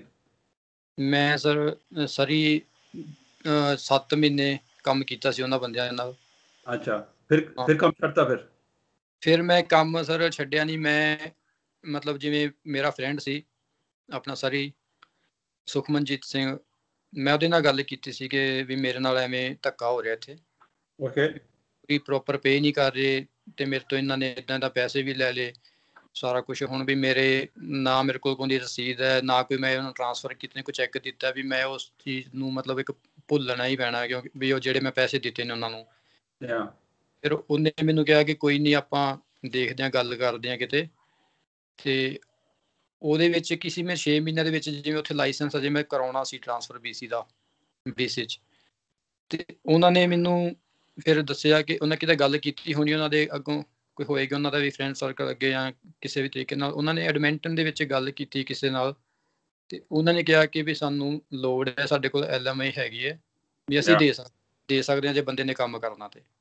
ਉਹ ਇਹ ਅਗਲੀ ਕੰਪਨੀ ਇਹ ਵੀ ਇਹ ਵੀ ਦੇਸੀ ਕੰਪਨੀ ਸੀ ਜਾਂ ਕੋਈ ਹੋਰ ਕੋਈ ਕੋਰੀਅਨ ਦੀ ਕੰਪਨੀ ਨਹੀਂ ਇਹ ਆਪਣੇ ਪੰਜਾਬੀ ਦੇਸੀਆਂ ਦੀ ਕੰਪਨੀ ਸੀ। ਅੱਛਾ ਠੀਕ ਹੈ। ਇਹ ਜਦੋਂ ਮੈਂ ਉਹਨਾਂ ਨੂੰ ਸਾਰੀ ਸਿਚੁਏਸ਼ਨ ਦੱਸੀ ਵੀ ਭਾਜੀ ਮੇਰੇ ਨਾਲ ਇਦਾਂ ਇਦਾਂ ਹੋਇਆ ਵੀ ਮੈਂ ਕੰਮ ਜ਼ਰੂਰ ਕਰਨਾ ਠੀਕ ਹੈ ਮੈਂ ਕੰਮ ਕਰਨ ਇੱਥੇ ਆਇਆ ਪਰ ਮੈਂ ਇਸ ਚੀਜ਼ ਬਾਰੇ ਤੁਹਾਨੂੰ ਦੱਸਦਾ ਕਿ ਮੇਰੇ ਉੱਥੇ ਪੈਸੇ ਖਰਾਬ ਹੋਏ ਆ ਕੁਝ ਵੀ ਆ। ਤੇ ਉਹ ਭਾਜੀ ਨੇ ਬਹੁਤ ਨਾਈਸ ਸੀ ਤੇ ਉਹਨਾਂ ਨੇ ਕਿਹਾ ਕਿ ਅਸੀਂ ਐਲਐਮਆਈ ਤੈਨੂੰ ਦੇਣੀ ਹੈ ਤੇ ਤੇਰੇ ਤੋਂ ਕੋਈ ਪੈਸਾ ਨਹੀਂ ਲੈਣਾ ਸੀ। ਸਿਰਫ ਅਸੀਂ ਤੇਰੇ ਤੋਂ ਐਲਐਮਆਈ ਦੇਣੀ ਹੈ ਤੇ ਤੂੰ ਕੰਮ ਕਰਨਾ ਬਸ। ਦੈਟਸ ਗੁੱਡ ਪੈਕੇਜ ਬਣਾਇਆ ਹੋਇਆ ਉਹਦੇ ਵਿੱਚ ਵੇਟਿੰਗ ਟਾਈਮ ਕੀ ਹੈ ਬਾਹਰ ਨਾਈਟ ਦਾ ਕੀ ਹੈ ਬਾਹਰ ਤੁਹਾਡੀ ਆਫ ਪੈਂਦੀ ਉਹਦਾ ਕੀ ਹੈ। ਸਾਰੀ ਮਤਲਬ ਤੂੰ ਯਾਰਡ 'ਚ ਵੀ ਪਤਾ ਕਰ ਸਕਦਾ ਕਿਤੇ ਜਾ ਕੇ ਪਰ ਸਾਨੂੰ ਕੰਮ ਚਾਹੀਦਾ ਵੀ ਕਿਤੇ ਨਾ ਹੋਏ ਅਸੀਂ ਤੈਨੂੰ ਐਲਐਮਆਈ ਦਈਏ ਤੇ ਤੂੰ ਕੱਲ ਨੂੰ ਸਾਨੂੰ ਖਰਾਬ ਕਰੇ ਕਿਸੇ ਤਰੀਕੇ ਨਾਲ ਵੀ। ਜੀ। ਤੇ ਉਹ ਆਪਣਾ ਰਾਜ ਕਾਰਗੋ ਟਰਾਂਸਪੋਰਟ ਇੱਥੇ ਐਡਮਿੰਟਨ ਦੀ ਹੈ। ਜੀ। ਤੇ ਰਗਵੀਰ ਸਿੰਘ ਭਾਜੀ ਉਹਨਾਂ ਦਾ ਨਾਮ ਹੈ। ਤੇ ਉਹਨਾਂ ਨੇ ਮੇਰੀ ਫਿਰ ਹੈਲਪ ਕੀਤੀ ਤੇ ਹੁਣ ਮੈਂ ਉਹਨਾਂ ਦੇ ਨਾਲ ਕੰਮ ਕਰ ਰਿਹਾ। ਤੇ ਬਹੁਤ ਵਧੀਆ ਹੁਣ ਇੱਕ ਇੱਕ ਮਤਲਬ ਕਹਿੰਦੇ ਦੁਬਾਰਾ ਟਰੈਕ ਤੇ ਆਏ ਆ ਜੀ। ਹਾਂਜੀ ਉਹ ਸਾਨੂੰ ਪੂਰੀ ਪ੍ਰੋਪਰ ਪੇ ਪੂਰੇ ਟਾਈਮ ਤੇ ਚੈੱਕ ਬਣਾ ਕੇ ਦਿੰਦੇ ਨੇ। ਮਤਲਬ ਸਾਡੇ ਕਹਿਣ ਤੋਂ ਬਿਨੇ ਸਾਰਾ ਕੁਝ ਉਹਨਾਂ ਨੇ ਪਤਾ ਹੀ ਹੁੰਦਾ ਵੀ ਬੰਦੇ ਕਿੱਥੇ ਭੇਜੇ ਨੇ ਕਿੱਥੇ ਵੇਟਿੰਗ ਪਈ ਹੈ ਕਿੱਥੇ ਲੋਡ ਚੱਕਿਆ ਸਾਰਾ ਕੁਝ ਮਤਲਬ ਉਹਨਾਂ ਨੇ ਸਾਨੂੰ ਇੱਕ ਗੱਲ ਕਹਿਤੀ ਸੀ ਕਿ ਮੈਨੂੰ ਪੀਆਰ ਨਾਲ ਨਹੀਂ ਕੋਈ ਮਤਲਬ ਕੰਮ ਕਰੋਗੇ ਪੈਸਾ ਮਿਲੇਗਾ ਪੀਆਰ ਵਾਲੇ ਕਾਰਡ ਦੇ ਨਾਲ ਲੋਡ ਲੈ ਕੇ ਨਹੀਂ ਜਾਣਾ। ਕੰਮ ਬੰਦਿਆਂ ਨੇ ਕਰਨਾ ਪੈਸੇ ਮਿਹਨਤ ਦੇ ਮਿਲਦੇ ਨੇ, ਉਹ ਤੁਹਾਨੂੰ ਸਭ ਕੁਝ ਮਿਲੇਗਾ, ਜਿੱਥੋਂ ਮਰਜ਼ੀ ਪਤਾ ਕਰ ਸਕਦੇ ਹੋ, ਤੁਹਾਡਾ ਪੈਕੇਜ ਹੈ। ਇਸ ਤੋਂ ਉੱਤੇ ਮੈਨੂੰ ਲੱਗਦਾ ਨਹੀਂ ਕੋਈ ਹੋਏਗਾ ਤੇ ਮੈਨੂੰ ਲੱਗਦਾ ਵੀ ਸਾਨੂੰ ਵੀ ਅਸੀਂ ਇਹ ਪਤਾ ਵੀ ਕੀਤਾ, ਚਲੋ ਗੱਲਬਾਤ ਹੁੰਦੀ ਰਹਿੰਦੀ ਹੈ ਕਿ ਮਤਲਬ ਅਸੀਂ ਬੜੇ ਉਹ ਬੈਸਟ ਪ੍ਰਾਈਸ ਸਾਨੂੰ ਉਹ ਦੇ ਰਹੇ ਨੇ, ਪੇ ਇਸ ਟਾਈਮ ਜਿਹੜੀ ਕਰ ਰਹੇ ਨੇ ਸਾਨੂੰ। ਜੀ, ਤੇ ਤੁਸੀਂ ਜਿਹੜੇ ਲੋਕ ਇਸ ਵਕਤ ਕੈਨੇਡਾ ਨਹੀਂ ਬੈਠੇ ਜਿਹੜੇ ਇੰਡੀਆ ਤੁਹਾਡੀ ਗੱਲਬਾਤ ਸੁਣ ਰਹੇ ਆ ਤੁਸੀਂ ਉਹਨਾਂ ਨੂੰ ਦੱਸ ਸਕਦੇ ਹੋ ਕਿ ਵੀ ਟਰੱਕਿੰਗ ਜਿਹੜੇ ਟਰੱਕਿੰਗ ਜਿਹੜੇ ਆਪਰੇਟਰ ਹੈ ਜਿਹੜਾ ਟਰੱਕ ਡਰਾਈਵਰ ਹੈ ਉਹਨਾਂ ਦੀ ਲਾਈਫ ਕਿਸ ਤਰ੍ਹਾਂ ਦੀ ਹੈ? ਐਵਰੇਜ ਲਾਈਫ ਤੁਸੀਂ ਕਿੰਨੇ ਘੰਟੇ ਗੱਡੀ ਚਲਾਓਗੇ? ਕਿਸ ਤਰ੍ਹਾਂ ਤੁਸੀਂ ਗੱਡੀ 'ਚ ਸੌਂਦੇ ਹੋ? ਕਿੰਨੇ ਲੰਬੇ ਓਵਰਨਾਈਟ ਉਹਦੇ ਬਾਰੇ ਦੱਸੋ ਕਿ ਵੀ what is the life of a truck driver sir ਇਹ ਡਿਪੈਂਡ ਕਰਦਾ ਬੰਦੇ ਤੇ। ਹੁਣ ਮੈਂ ਜਿਹੜਾ ਮੈਂ ਆਪਣਾ ਐਕਸਪੀਰੀਅੰਸ ਦੱਸਦਾ ਮੈਂ ਕੰਮ ਕਰ ਰਿਹਾ ਇੱਥੇ ਸਾਡੀ ਅਸੀਂ ਯੂ ਐਸ ਏ ਨੂੰ ਚੱਲਦੇ ਆ ਹੂੰ। ਸਾਡੀ 13 ਘੰਟੇ ਦੀ ਸ਼ਿਫਟ ਹੁੰਦੀ ਹੈ ਇੱਕ। ਜਿਹਦੇ ਚ ਅਸੀਂ 11 ਘੰਟੇ ਡਰਾਈਵ ਕਰਨੀ ਹੁੰਦੀ ਹੈ ਤੇ ਉਸ 11 ਘੰਟੇ ਦੇ ਵਿੱਚ ਤੁਸੀਂ ਇੱਕ ਅੱਧੇ ਘੰਟੇ ਦੀ ਬ੍ਰੇਕ ਕੱਢਣੀ ਹੁੰਦੀ ਹੈ ਮਤਲਬ 8 ਘੰਟੇ ਲਗਾਤਾਰ ਡਰਾਈਵ ਕਰਨ ਤੋਂ ਪਹਿਲਾਂ ਪਹਿਲਾਂ। ਜੀ। ਤੇ ਉਹਦੇ ਵਿੱਚ ਅਸੀਂ ਅਸੀਂ ਟੀਮ ਮੈਂ ਟੀਮ 'ਚ ਚੱਲਦਾ। ਜੀ। ਮੇਰੇ ਨਾਲ ਮੁੰਡਾ ਜਗਵਿੰਦਰ ਵੀ ਉਹਨੇ ਵੀ ਇੱਥੋਂ ਭਾਜੀ ਉਹਨਾਂ ਤੋਂ ਐਲਐਮਆਈ ਲਈ ਹੈ ਉਹਨਾਂ ਨੇ ਵੀ ਕੋਈ ਉਹਨਾਂ ਤੋਂ ਵੀ ਬਿਲਕੁਲ ਉਹਨਾਂ ਨੇ ਹੈਲਪ ਕੀਤੀ ਹੈ ਕਿ ਅਸੀਂ ਮੈਂ ਮਤਲਬ ਸੱਚੀ ਗੱਲ ਕਹਿ ਰਿਹਾ ਕਿ ਇਹ ਨਾ ਕੋਈ ਹੋਏ ਬੰਦਾ ਸੋਚੇ ਵੀ ਹਾਂ ਉਹਨਾਂ ਨੇ ਐਲਐਮਆਈ ਦਿੱਤੀ ਕਿ ਉਹਨਾਂ ਦੀ ਤਾਰੀਫ ਕਰਦਾ ਪਿਆ। ਮਤਲਬ ਮੈਂ ਉਹਨਾਂ ਨੂੰ ਵਾਕਈ ਇੱਕ ਵੀ ਕਿਸੇ ਤਰੀਕੇ ਦਾ ਕੋਈ ਇੱਕ ਪੈਸਾ ਤੱਕ ਉਹਨਾਂ ਨੇ ਮੇਰੇ ਤੋਂ ਨਹੀਂ ਲਿਆ। ਜੀ। ਹਾਂਜੀ ਸਾਡੇ ਦੋਨਾਂ ਜਣਿਆਂ ਤੋਂ। ਜੀ। ਅਸੀਂ ਹੁਣ 11 ਘੰਟੇ ਡਰਾਈਵ ਕਰਨੀ ਹੁੰਦੀ ਹੈ ਉਹਦੇ ਵਿੱਚ 11 ਘੰਟੇ ਮੇਰੀ ਸ਼ਿਫਟ ਖਤਮ ਹੋਣ ਤੋਂ ਬਾਅਦ ਫਿਰ ਦੂਜੇ ਮੁੰਡੇ ਡਰਾਈਵ ਕਰਨੀ ਹੁੰਦੀ ਹੈ ਪਿੱਛੇ ਇੱਕ ਜਾ ਕੇ ਮਤਲਬ ਮਿਨੀਮਮ 10 ਘੰਟੇ ਦੀ ਤੁਹਾਡੀ ਸਲੀਪ ਹੋਣੀ ਚਾਹੀਦੀ ਹੈ ਅਗਲੀ ਸ਼ਿਫਟ ਸਟਾਰਟ ਕਰਨ ਤੋਂ ਪਹਿਲਾਂ ਪਹਿਲਾਂ ਜੀ ਓਕੇ ਸੋ ਕਈ ਹੁਣ ਕੰਪਨੀਆਂ ਨੇ ਉਹ ਬੰਦੇ ਨੂੰ ਪੁਸ਼ ਕਰਦੀਆਂ ਨੇ ਕਿ ਤੁਸੀਂ ਆ ਲੋਡ ਜੇ ਚੱਕਿਆ ਤੇ ਤੁਸੀਂ ਇਸ ਟਾਈਮ ਤੇ ਲਾਉਣਾ ਹੈ। ਪਰ ਸਾਡੇ ਹੁਣ ਉਹਨਾਂ ਨੇ ਕੰਪਨੀ ਵਾਲਿਆਂ ਦਾ ਕਹਿਣਾ ਹੈ ਕਿ ਤੁਸੀਂ ਮਤਲਬ ਤੁਹਾਡਾ ਰੋਡ ਤੇ ਤੁਹਾਡਾ ਡਿਸੀਜਨ ਹੈ। ਤੁਸੀਂ ਟਰੱਕ ਵੈਦਰ ਦੇ ਹਿਸਾਬ ਨਾਲ ਕੰਡੀਸ਼ਨ ਦੇ ਹਿਸਾਬ ਨਾਲ ਚਲਾਉਣਾ ਹੈ ਨਹੀਂ ਚਲਾਉਣਾ ਨੀਂਦ ਆਉਂਦੀ ਹੈ ਤੁਹਾਨੂੰ 2 ਘੰਟੇ ਬਾਅਦ 4 ਘੰਟੇ ਬਾਅਦ ਟਰੱਕ ਸਾਈਡ ਤੇ ਲਾ ਕੇ ਤੁਸੀਂ ਸੌਂ ਸਕਦੇ ਹੋ। ਲੋਡ ਲੇਟ ਹੋ ਜਾਏਗਾ ਕੋਈ 100 200 400 500 ਡਾਲਰ ਵਾਲੀ ਸਾਨੂੰ ਕੋਈ ਚੱਕਰ ਨਹੀਂ। ਪਹਿਲਾਂ ਤੁਸੀਂ ਆਪਣੀ ਸੇਫਟੀ ਵੇਖਣੀ ਹੈ। ਜੀ। ਹਾਂਜੀ। ਤੇ ਇਹ ਮਤਲਬ ਵਧੀਆ ਚੱਲਦਾ ਪਿਆ। ਇੱਕ ਚੀਜ਼ ਇੱਕ ਚੀਜ਼ ਹੋਰ ਦੱਸੋ ਤੁਸੀਂ ਜਦ ਵਰਕ ਪਰਮਿਟ ਅਪਲਾਈ ਕੀਤਾ ਤੁਸੀਂ ਟਰੱਕਿੰਗ ਦੀ ਐਲਐਮਆਈ ਲੈ ਕੇ ਉਹਦੀ ਰਿਕੁਆਇਰਮੈਂਟ ਉਹਨਾਂ ਨੇ ਕਿਹੜੀ ਕਿਹੜੀ ਰਿਕੁਆਇਰਮੈਂਟ ਮੰਗੀ? ਮਤਲਬ ਕਿ ਇੰਗਲਿਸ਼ ਦੀ ਰਿਕੁਆਇਰਮੈਂਟ ਜਾਂ ਪੁਰਾਣਾ ਐਕਸਪੀਰੀਅੰਸ ਹੈ ਹੋਰ ਕਿਹੜੇ ਕਿਹੜੇ ਰਿਕੁਆਇਰਮੈਂਟ ਉਹਨਾਂ ਨੇ ਤੁਹਾਡੇ ਮੰਗੀ ਜਿਹੜੀ ਐਲਐਮਆਈ ਵਿੱਚ ਲਿਖੀ ਹੋਈ ਸੀ? ਹਾਂਜੀ ਹਾਂਜੀ। ਉਹਦੇ ਵਿੱਚ ਸਰ ਇਦਾਂ ਹੁੰਦਾ ਕਿ ਹਰੇਕ ਕੰਪਨੀ ਜਦੋਂ ਐਲਐਮਆਈ ਦਿੰਦੀ ਹੈ, ਉਹ ਉਸ ਕੰਪਨੀ ਤੇ ਡਿਪੈਂਡ ਕਰਦਾ ਕਿ ਉਹਨਾਂ ਨੂੰ ਕੀ ਰਿਕੁਆਇਰਮੈਂਟ ਪੂਰੀ ਕਰਨੀ ਪੈਂਦੀ ਹੈ ਇਮੀਗ੍ਰੇਸ਼ਨ ਦੀ। ਜਿੱਥੇ ਮੈਂ ਪਹਿਲਾਂ ਲਈ ਸੀ, ਉਹਨਾਂ ਦੀ ਕੋਈ ਰਿਕੁਆਇਰਮੈਂਟ ਨਹੀਂ ਸੀ ਕਿ ਨਾ ਭਾਵੇਂ ਬੰਦਾ ਫਰੈਸ਼ ਹੈ ਕੁਝ ਵੀ ਹੈ ਕਲਾਸ 1 ਦਾ ਲਾਇਸੈਂਸ ਹੈ ਹਾਂਜੀ ਬੇਸਿਕ ਇੰਗਲਿਸ਼ ਤੁਹਾਨੂੰ ਆਉਣੀ ਚਾਹੀਦੀ ਹੈ ਕਿ ਕੱਲ ਨੂੰ ਰੋਡ ਤੇ ਤੁਹਾਨੂੰ ਕਿਤੇ ਵੀ ਕੋਈ ਪੁਲਿਸ ਵਾਲਾ ਜਾਂ ਕੋਈ ਸਕੇਲ ਤੇ ਤੁਹਾਨੂੰ ਕੱਢਦਾ ਤੇ ਤੁਹਾਨੂੰ ਥੋੜੀ ਬਹੁਤੀ ਗੱਲ ਕਰਨੀ ਪੈਣੀ ਉੱਥੇ। ਜੀ। ਇੰਨੀ ਇੰਗਲਿਸ਼ ਆਉਣੀ ਚਾਹੀਦੀ ਹੈ। ਤੁਸੀਂ ਇੰਗਲਿਸ਼ ਦਾ ਟੈਸਟ ਲਿਆ ਕੋਈ? ਲਿਆ ਸੀ ਆਈਲੈਸ ਵਾਲਾ ਟੈਸਟ ਕੋਈ? ਨਹੀਂ ਮੈਂ ਟੈਸਟ ਨਹੀਂ ਲਿਆ। ਚਲੋ ਜਿੰਨੀ ਕੋ ਸਾਨੂੰ ਜ਼ਰੂਰਤ ਹੁੰਦੀ ਹੈ ਇੱਥੇ ਬੇਸਿਕ ਇੰਗਲਿਸ਼ ਇੱਕ ਸਾਨੂੰ ਓਨੀ ਆਉਂਦੀ ਹੈ ਕਿਉਂਕਿ ਟਰੱਕ ਜਦੋਂ ਆਪਾਂ ਲਾਇਸੈਂਸ ਲੈਣਾ ਹੈ ਟਰੈਕਿੰਗ ਵਾਸਤੇ ਉਹਦੇ ਸਾਰੇ ਟੈਸਟ ਤੁਹਾਡੇ ਇੰਗਲਿਸ਼ 'ਚ ਹੀ ਹੋਣੇ ਨੇ। ਜੀ ਜੀ। ਪਾਸ ਪੈਂਦੇ ਆ ਜਿੱਦਾਂ। ਤੇ ਤੋਂ ਆਪਣੇ ਨਾਲ ਇਨਸਪੈਕਟਰ ਨੇ ਜਾ ਕੇ ਟੈਸਟ ਰੋਡ ਟੈਸਟ ਲੈਣਾ ਹੈ ਉਹਨਾਂ ਵੀ ਤੁਹਾਨੂੰ ਕੁਐਸਚਨ ਇੰਗਲਿਸ਼ 'ਚ ਕਰਨੇ ਨੇ ਆਪਾਂ ਨੂੰ ਜਵਾਬ ਦੇਣਾ ਪੈਣਾ ਉਹਦਾ। ਜੇ ਆਪਾਂ ਉਸ ਚੀਜ਼ ਨੂੰ ਕਰਦੇ ਤੇ ਉਹ ਆਪਾਂ ਨੂੰ ਅਲਾਉ ਹੀ ਨਹੀਂ ਕਰਦੇ ਕਿ ਤੁਸੀਂ ਲਾਇਸੈਂਸ ਬਣਾ ਸਕਦੇ ਹੋ ਕਲਾਸ 1 ਦਾ। ਜੀ।